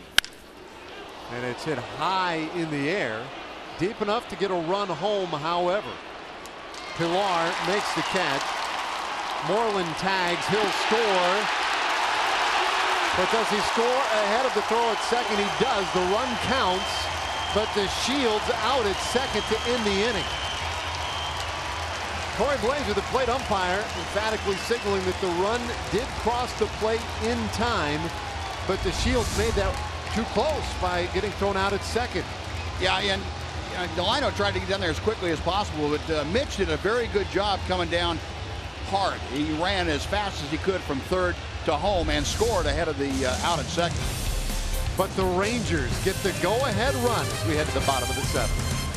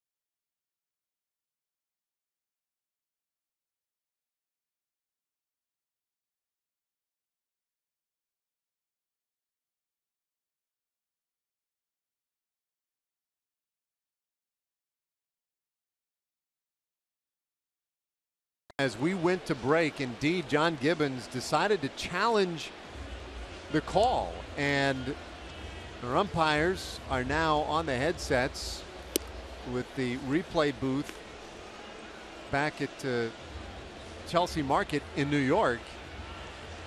And we've seen some replays up here, Buzz. It does not look good what we saw yep. for the Rangers. It appears as if DeShields indeed was out at second base before Moreland crossed home plate. Yeah, pretty problematic for the Rangers, and that's the second time now in the last couple of weeks that that exact play has happened that's taken a run off the board, if this is taken off the board. The replays we saw looked like uh, Delino was tagged out before Mitch hit home plate, but it, I'm not sure that's definitive. Uh, we'll have to have to see what the umpires uh, back in the replay command center are seeing, uh, just to make sure that it's lined up. Here's here's the one we saw, and you can see the play at second. Here's Moreland coming down the third baseline. It looks like the out is made, and Moreland is still shy of home plate. Now, to me, I'm surprised We're it's taken this out. long for them to make this call. And here comes Blaser. No score. Nope. The run is waved off.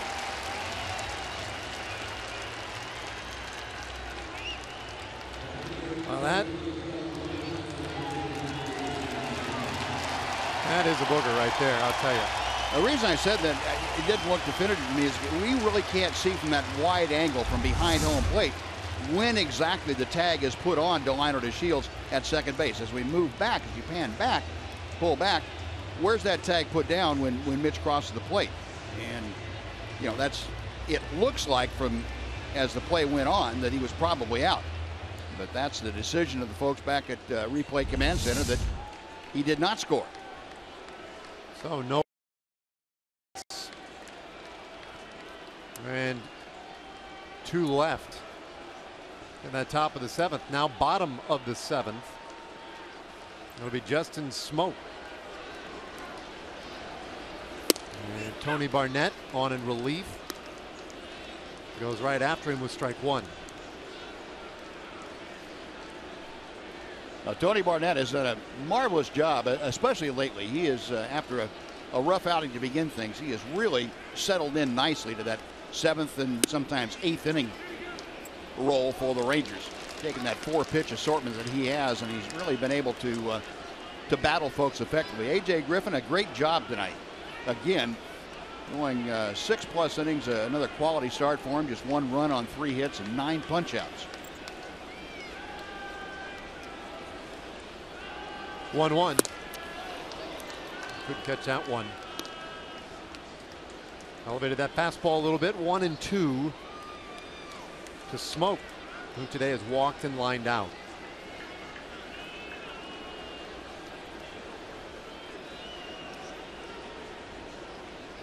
Well, an odd play to end the top of the seventh inning. Now here we go to the bottom of the seventh inning. Remember the division series game five played right here back in October. It was the seventh inning, the crazy top half of the 7th Mhm. The Rangers took the lead. And then the disastrous bottom of the seventh inning, the 2 2. And it's one full on Smoak. Yeah, same venue, but about half as many people in the Yes. stands. At best.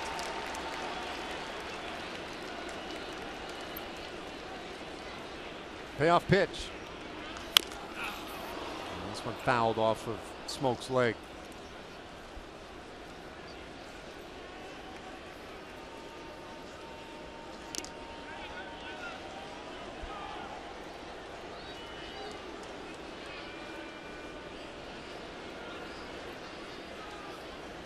We've seen a lot of this in this first month and change now the regular season. Low scoring games in the American League. Mm-hmm. Offensive numbers are flat out down.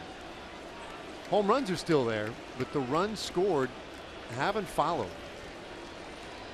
Pitching has been the name of the game in the junior circuit in 2016. The 3 2 from Barnette. And this one lined out center field, base hit.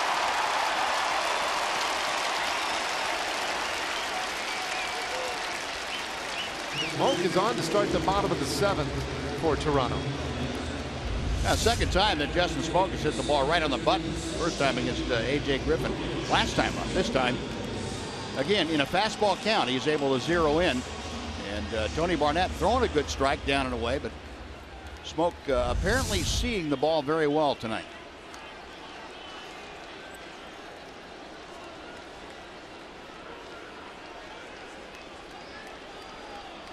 Now Ryan Goins struck out in the second, flied out in the fifth.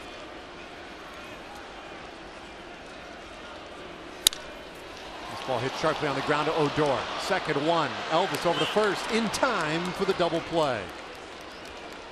Four, six, three, and just like that, that leadoff single erased. Rangers do that better than anybody in baseball, that double play ball. And Tony Barnette complied very nicely. Got that ball down, and Ryan Goins hit it just exactly how you like it. Hard, on the ground, easy hop into the glove of Rougned Odor, and he and Elvis turning it for the 38th double play of the year.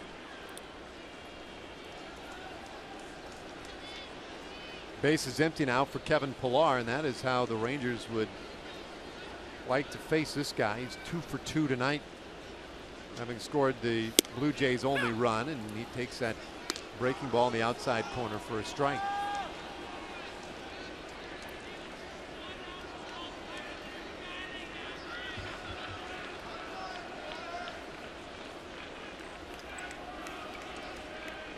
Barnette with that unique setup hiding that ball in the back hip. This one softly lined into left field.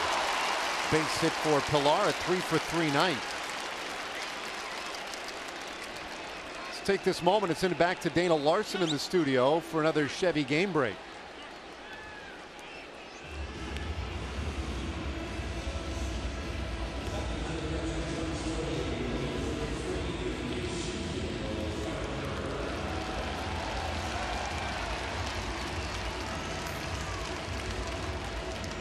All right.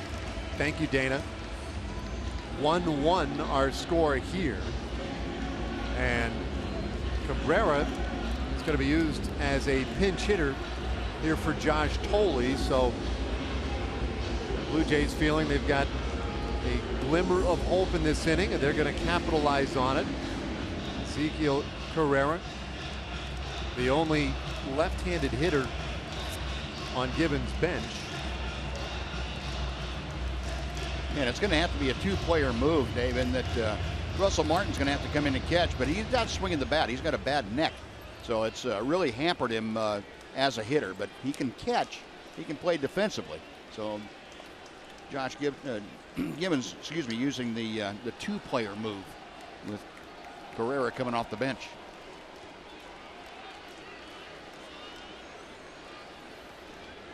So the runner at first, and this one shanked foul for strike one. Seems to me like a, and look, you only have so many opportunities, but a little bit of a high stakes gamble here because there are already two outs in the inning. And as you point out with Russell Martin, you're basically giving up that at bat the rest of the game. Should he get to hit again, but, but that may well be a, a reality in the, in the real critical moments at the end of this thing.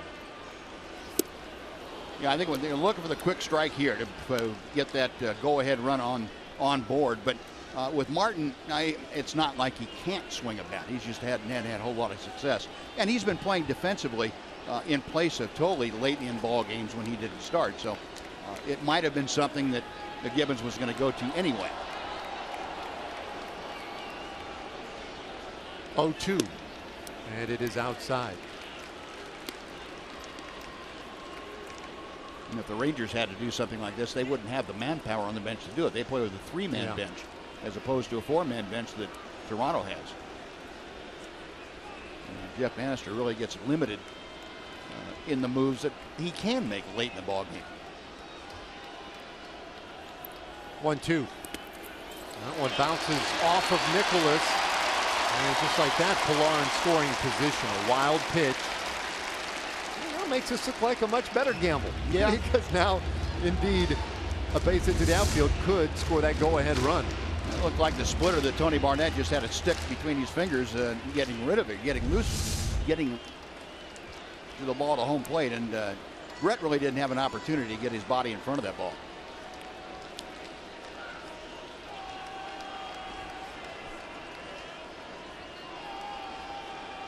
Two balls, two strikes on Carrera. And here it comes. Full count. Problem here is you can't lose Carrera because the top of the order really is where the Blue Jays are the most dangerous. That man, Michael Saunders, due next. He has the run scoring hit tonight for Toronto and has been a great run producer, even though he bats at that leadoff spot. You need to be able to throw something other than a fastball for a strike here. Payoff pitch. And he got him swinging. So Carrera down on strikes. And we'll go to the eighth inning. Still tied at one.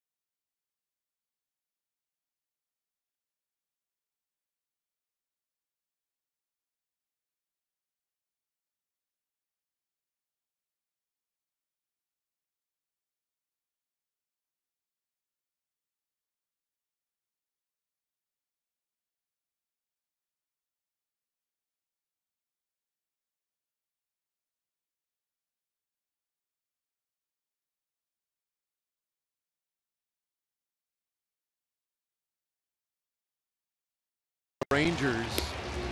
Long series with the Blue Jays here, four days. Of course, we'll see them again. Uh, well, seven games in 14 days. That's pretty. It's pretty rugged. Toronto, or rather, uh, Detroit, and then the White Sox squeezed into the middle of those games. A lot of road games in the next three weeks for these Rangers, leading the division by a half game. There's Russell Martin. Taking over behind the plate, and Floyd misses with ball one.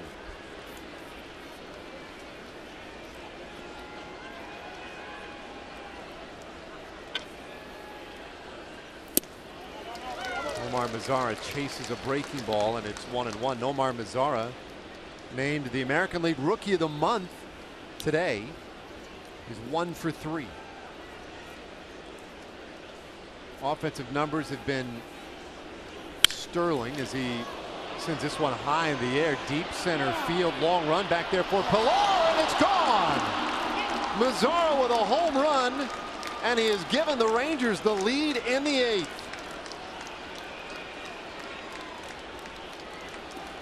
Not bad for a 21-year-old, huh?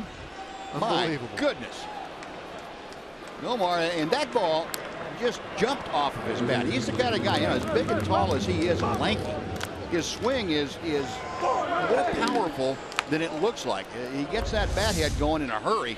Watch the extension there. That's a quick, short stroke, and he generates so much power by extending that bat head through the hitting zone for a long time. Impressive. Both home runs to center field tonight by the Rangers. Nicholas in the third and Mazara now just moments ago here in the eighth and both of them I mean they, they didn't clear that fence by a ton. Statcast, but enough. Statcast won't like him a lot, but uh, I guarantee you Gavin Floyd is going to be. he didn't like it either. No, he didn't like that at all. But they're not Statcast favorites, but they do count for a run. Yep. Beltre asking for an appeal. Traffic cop. he is he is such a nut. uh.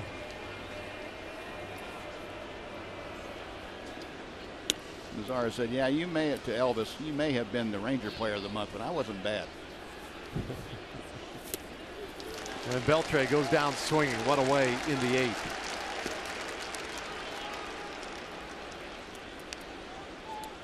Two to one, Rangers leading. Prince Fielder coming up.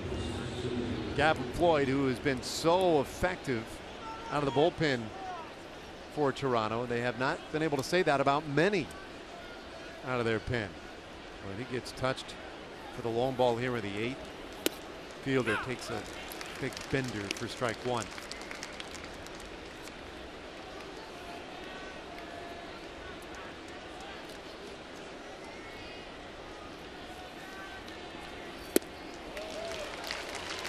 Prince doubled in the sixth inning.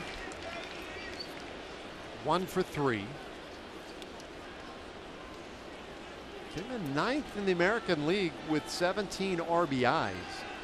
So despite the low average, continues to be able to drive in runs and he will trot to first on this drop third strike, but never a serious issue.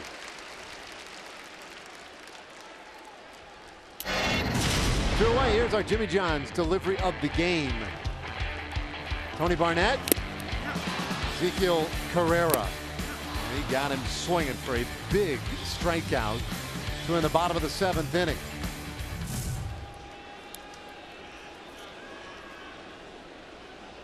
Right after that, Mazara with a home run. Rangers lead two to one, and that one a little tight on Desmond. In fact, it just did catch a couple stitches off his sleeve. Cory Blaser had to let uh, Ian know that that hit him.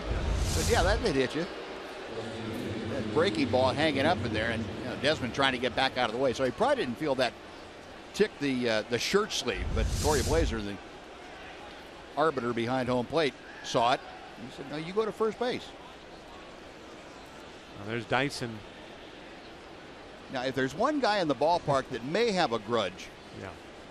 carried through uh, to uh, Jose Bautista, it's that man. If he comes in in the eighth inning, Bautista would be due up third. Bautista, the one who hit that home run, game five in the seventh inning, and then they call it a bat flip. It was more like a hammer throw or a Yeah. javelin.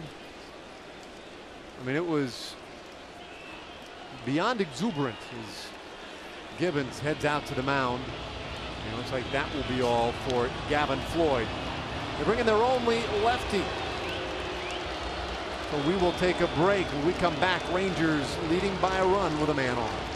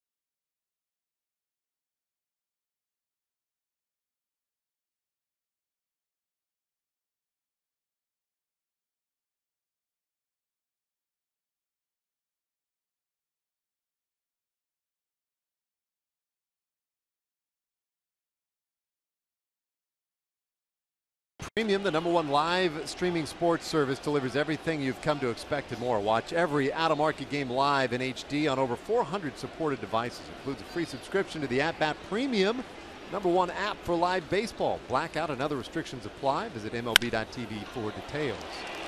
Brett Cecil is on.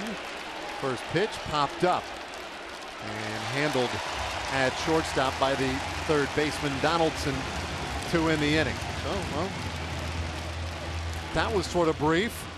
We'll go to the bottom of the eighth inning. The Rangers have retaken the lead on the home run by the rookie, Nomar Mazara. Two to one, Rangers.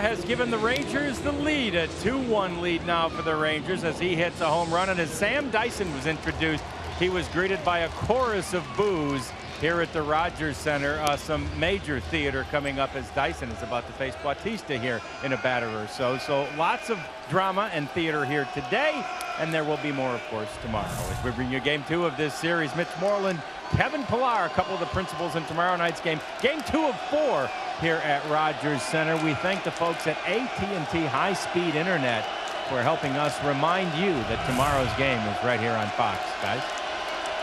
All right, thank you, John. Here we go. Sam Dyson on to face the top of the order with his Toronto Blue Jays, and that has uh, piqued the interest of the folks here at Rogers Center. Those folks sitting on their hands, they have gotten up and uh, they are booing vociferously. Bizarre. Hanser Alberto has come on to play first base. The, the, booing for Dyson. Yeah. That's a bit of a stretch. I don't know if they're anticipating the rest of the inning. One and one on Saunders. It was Dyson who surrendered the home run to Jose Bautista in the seventh inning of game five of the ALDS. And then that's when Bautista commenced making a bit of a scene out of the situation. And what you mentioned earlier, Dave, about, well, this ball game it really is going to bury whatever hatchets were still out there.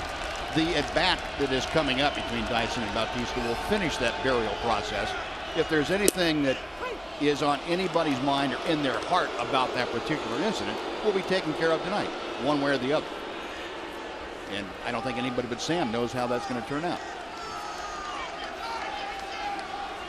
Jumps ahead of Saunders here, one and two.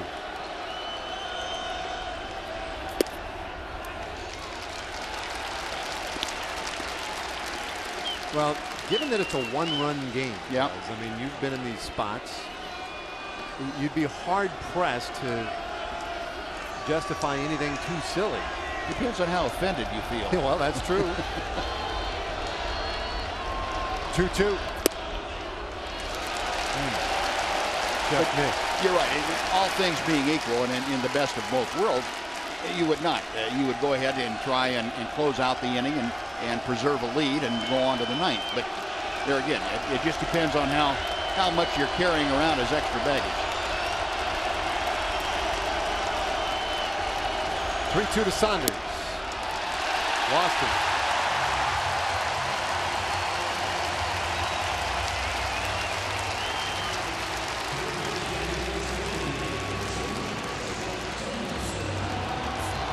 Again, you'd hate to get too distracted by that now historic Yeah. storyline. And that is a storyline that is behind everybody. You don't want that to distract you from a one-run game in the eighth inning. Donaldson, a dangerous hitter. The time called. Nicholas will head out to talk to Dyson. Yeah, and with Donaldson up there, this is the part where whatever was on your mind before, you really need to focus on Josh Donaldson. You'd love to get the double play so that then you can take care of business the way you want to with nobody on base to face Bautista.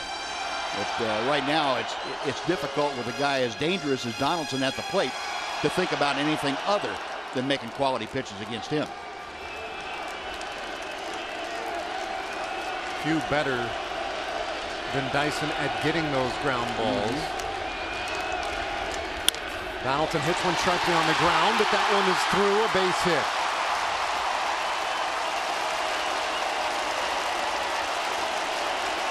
Andrus just a shade too far up the middle to get to that one. He got the ground ball, and unfortunately, and, and that's the life of a sinker ball pitcher. You can't direct where it goes all the time, and uh, that was perfectly placed. Now here we go. Well, this is the moment I think that Blue Jays fans and Rangers fans were anticipating and perhaps even wanting coming into tonight. Your questions will be answered right here.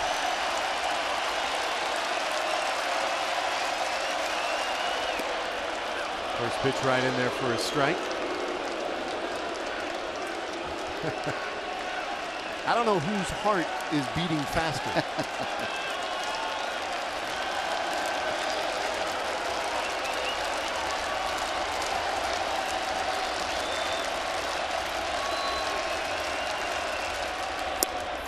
Just missed. One and one.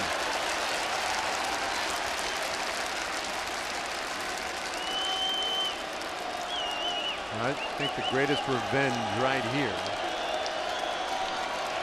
be a 4-6-3.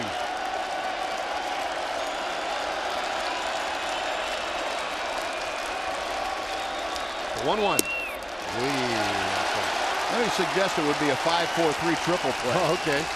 I'll take that too.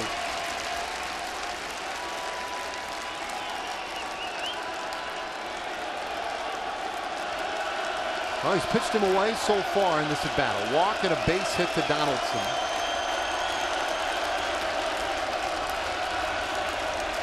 2-1 from Dyson. And that one hit out into right field. But to Mazara. One away. And now everyone can exhale and reassume their position. Except for Sam Dyson. He's still got some work to do. Listen, revenge, they say, a dish best served cold. And I'm sure you may have been in situations where there were guys who may have deserved or asked for certain retaliations. Did you ever, or know guys perhaps ever, that wanted to just sort of let it fester for a while, let it go, and then come back and deal with it later? The game has changed a lot, Dave. Uh, and, and my, how I was raised in baseball is totally outmoded. Uh, the game has changed. I like the way it's changed in most facets. To answer your question directly, yeah, I know some guys that uh, carried grudges, um, but it was eventually taken care of. Eventually. Yeah, you don't want to you don't want to sleep too too much with a grudge on your heart. Encarnacion feels like he just missed one. 0 and 1 to the right-handed slugger. But it was also at the same time it was also not uncommon to go two for one when you had a grudge. You know, save it for later on, Yeah. but also take that when you have the, the first opportunity, and then make one down the road too, just in case they forgot. Just a reminder. No. Saunders second, Donaldson first.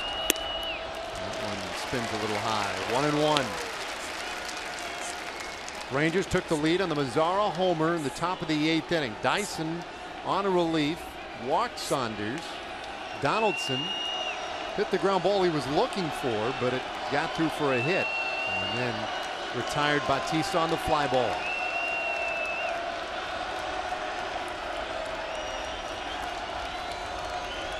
Right-hander delivers. And it's low, two and one.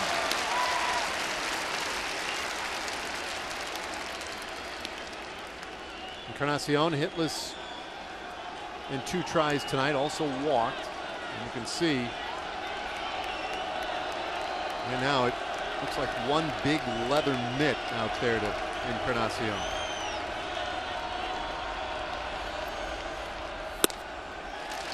Three and one.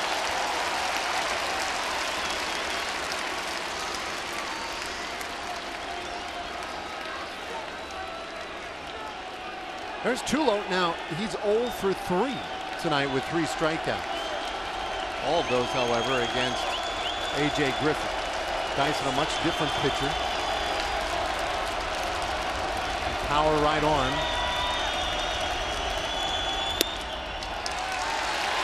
And he walks in Encarnacion. They're loaded.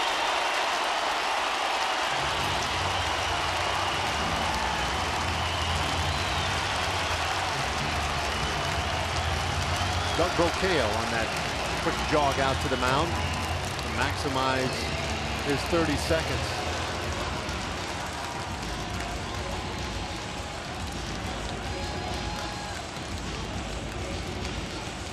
Twenty-five thousand plus here tonight. Game one of a four-game series between these two teams. Went nose to nose. A very memorable division series last October. Rangers won the first two in that division series here in Toronto, lost two back at home, and then the decisive game five, the wild game five here that Toronto won. Dave, this is the first outing that Sam Dyson this year has walked two in the same outing, and uh, he's put himself in a real tough spot with a great hitter at the plate.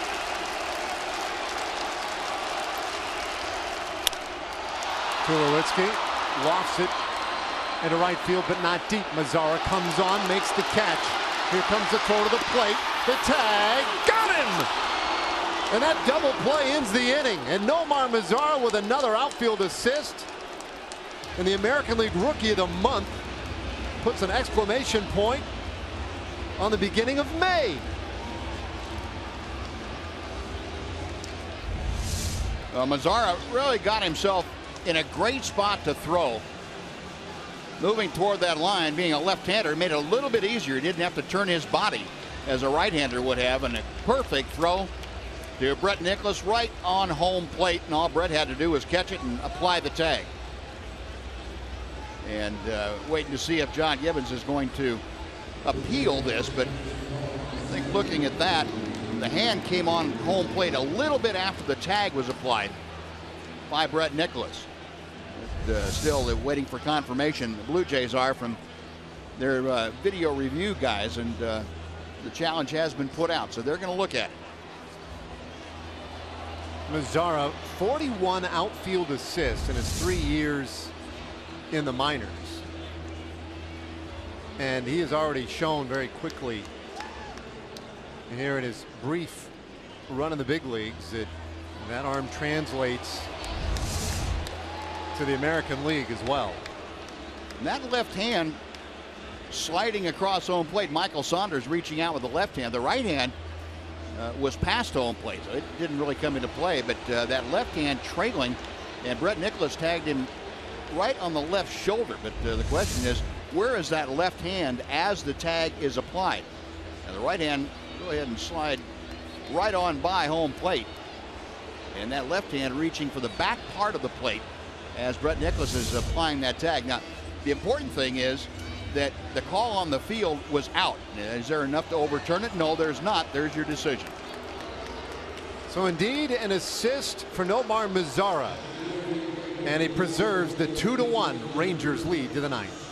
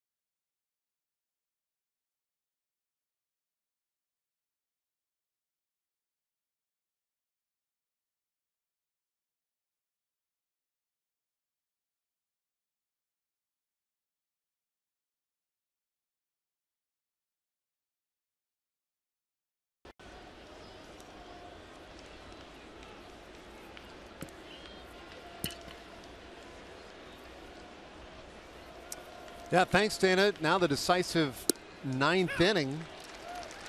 Elvis Andrus leading things off. Bottom third of the orders. Take a look at Nomar Mazara. Another fantastic defensive play out in right field.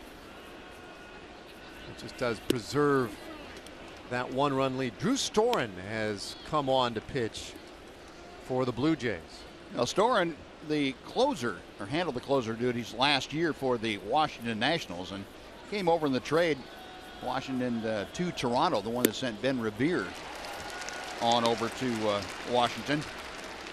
And Storen is yet to get on track for the Blue Jays. This is the 11th appearance. He got a rather unsightly 10-13 ERA, and look at the opponent's batting average, 389. And he has given up three home runs in his eight innings of work. So it has been a rocky transition for Drew Storen. Breaking ball, and that one lined out of the left. With Saunders hauls it in, one away. Going back to Nomar Mazara for a moment, we have not found anything that Nomar cannot do yet in his uh, almost a month of play at the big league level. Amazing. Uh, you know, a quality hitter with great patience, great discipline at the plate, the ability to hit to all fields. Defensively, covers a lot of ground. We've seen his arm on display. I give. Uh, there may be another league that he's ready to go to, a higher one. You know, the other thing too is has been the just the poise and maturity that Yeah. he shows in the clubhouse uh, with the media, and even when you see him make these big plays, boy, there's a swagger and just a you know, self-confidence and a belonging in, his body language. It's like he expects to make that play. Yeah. That's just that's what he does, It's a big deal. That's what I do. Yeah. which which is uh, unbelievable uh, for 51, much less 21.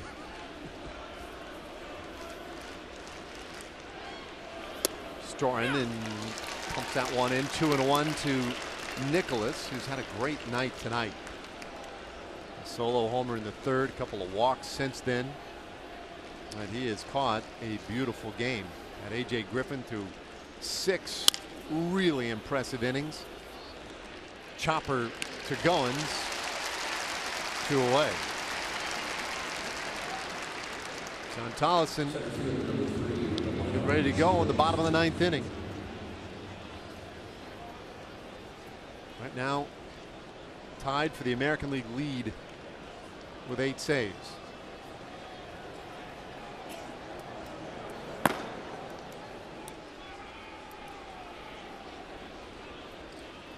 DeShields two for two with a walk.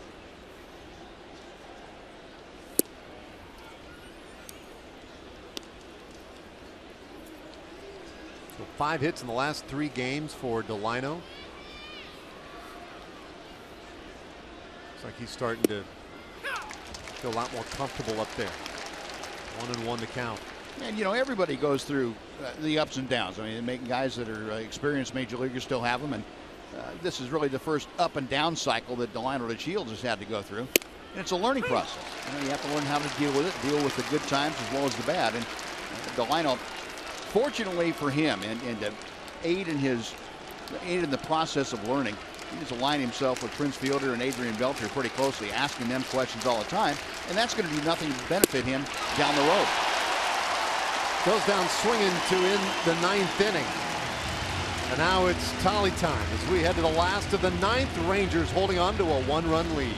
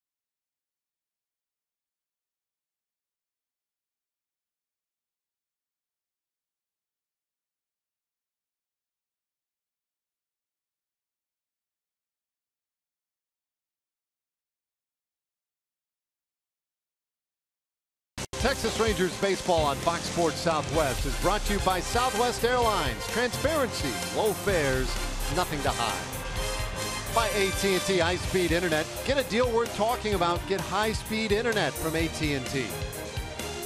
And by your Texas Ford dealers. Visit your local Texas Ford dealer today for incredible deals and see why Ford is the best in Texas.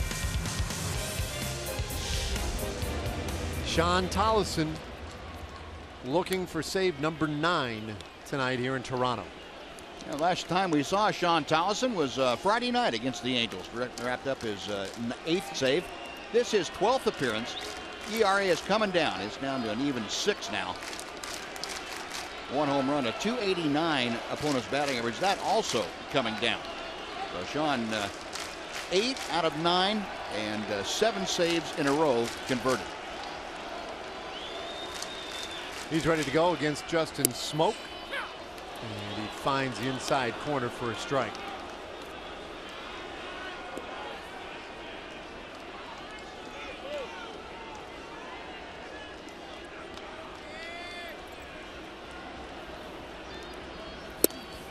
This time a little too tight and it's one and one. You see the infield defense against Smoak. Gord on that grass in right field. Elvis Andrus over on the right side of the second base bag. One and two the count on Smoak. Switch hitter, batting left-handed. A.J. Griffin, six outstanding innings, tied a career high with nine strikeouts. Tolleson gives up a hard hit ball to center field. And DeShields can't hold on to it. Tying run on in the ninth inning. That looked like that uh, Smoak hit a knuckleball out there, and I think it fooled Delino at the outset, but then he thought he had a pretty good bead drawn on it. If you can see this ball kind of get out there and uh, dive down against Delino. Delino thought he had a, a pretty good shot at it, and the ball just popped out of his glove as the glove and ball impacted the turf right at the same time.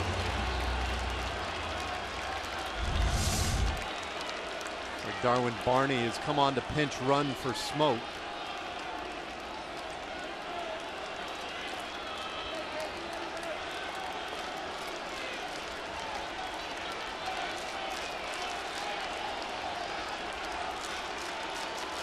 Ryan Goins at the plate. They'll scored a base hit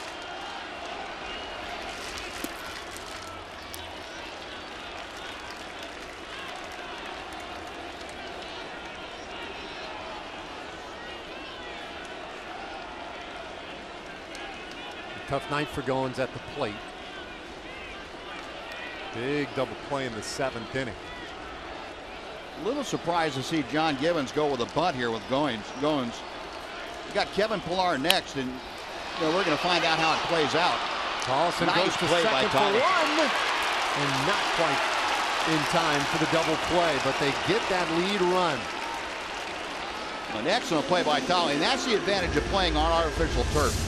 The ball gets back to you more quickly when the ball's not deadened. Tolleson knew that, and that takes a lot of forethought. You have to prepare yourself in that eventuality, and there was no hesitation. Shawn Tolleson knew exactly where he wanted to go with that ball and made an accurate throw to Elvis, who almost turned it into two. But I'm a little bit surprised that Gibbons decided to do that. If the sacrifice had been successful, you would have had first base open. You probably would have walked Pillar because Martin's going to swing the bat, and you know he's been having problems swinging the bat. So but we'll see how it works out, hopefully in the Rangers' favor. Pillar's had a big night tonight, and he takes strike one. Three for three, a double, and the only run scored tonight for the Blue Jays. Three of their seven hits so far.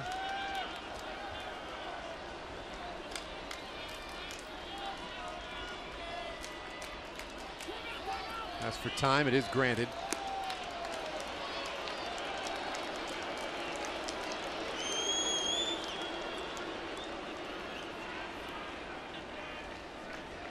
It is a new infield here in Toronto. Mm -hmm. Finally have dirt on the infield instead of those little dirt patches around the bases. And they did a really good job. according to everyone you talk to. Smashed to short. Elvis, great diving stop, and they'll get the lead run on to first, and not quite in time. But another terrific defensive play in this ninth inning to get that lead runner. If they had turned that double play, you could have sent the video to Cooperstown. That was an all-American play by Elvis going into the hole. And then Rougned almost quick enough to turn that thing. I didn't think there was any way that, first of all, Andrus could get to the ball and then have even a shot at turning it.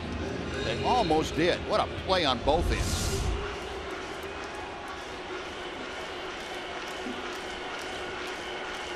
And now it looks like Jeff Banister is having the crew look at that inside just to make sure that the slide into second was inside the scope of the new slide rule.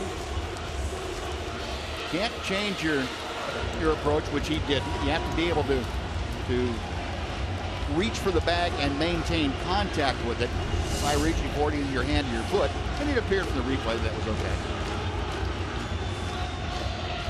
Now John Gibbons coming out. He's having a word with Cory Blaser.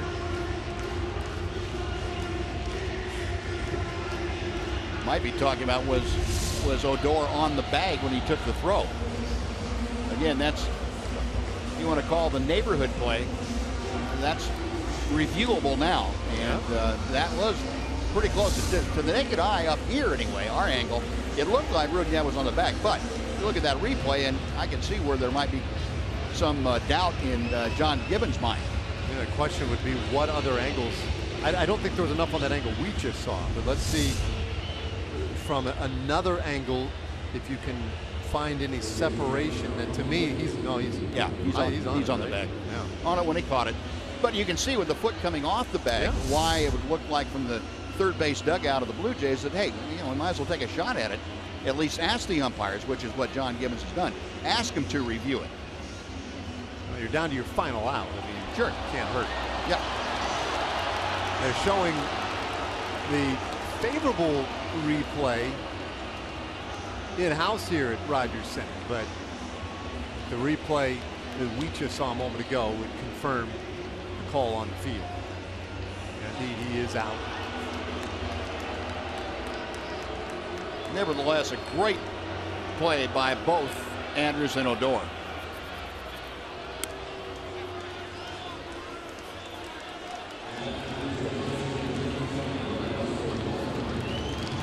So now, Blue Jays down to their final out tonight. How ironic is that that Elvis had come up with a great play in the ninth inning defensively.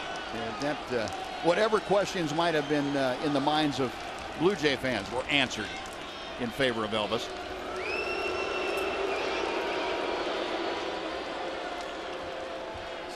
So that that review we just had a moment ago, that was a crew chief review.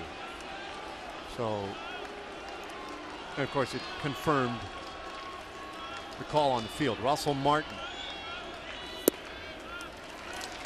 takes ball one. And again, Martin bothered by that neck problem that he's had for the last uh, several weeks. And his uh, strikeout rate has almost gone up to 50%. It's in the mid 40s. Not like Russell Martin at all. And he's just having trouble driving the ball anywhere. One and one. Well, that'll loosen that neck up a little bit. or get you right back on the trainer's table. Yeah, one, of the two.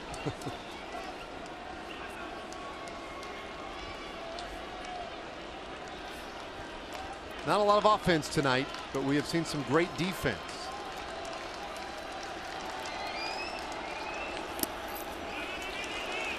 Runner not going, two and one on Russell Martin.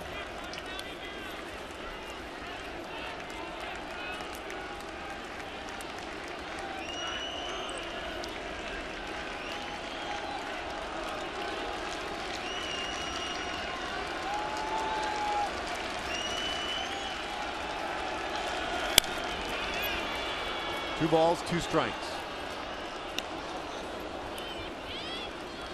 Bullpen tonight. Tony Barnette, Sam Dyson, now Shawn Tolleson trying to complete three shutout innings on the back of Griffin's excellent start tonight. Tony Barnette, as things stand, would be the winner. Martin will see another pitch. Yeah, it hasn't been an artistic success for the Ranger bullpen, but it's been a whitewash so far, and that's that's what's important. Put up zeros in that run column. Had base runners on every inning and uh, some ticklish situations. But the Ranger defense has bailed them out, and some good pitching has bailed them out. Down to their final strike. Tolleson's 2-2. Little bouncer. Andrus will take care of it himself, and this one is over. Rangers take the first It is four-game series from the Blue Jays. Two to one, the final score. Great bullpen work tonight, as you mentioned. It maybe not a thing of beauty, but a gutsy effort. In particular, Sam Dyson's eighth inning.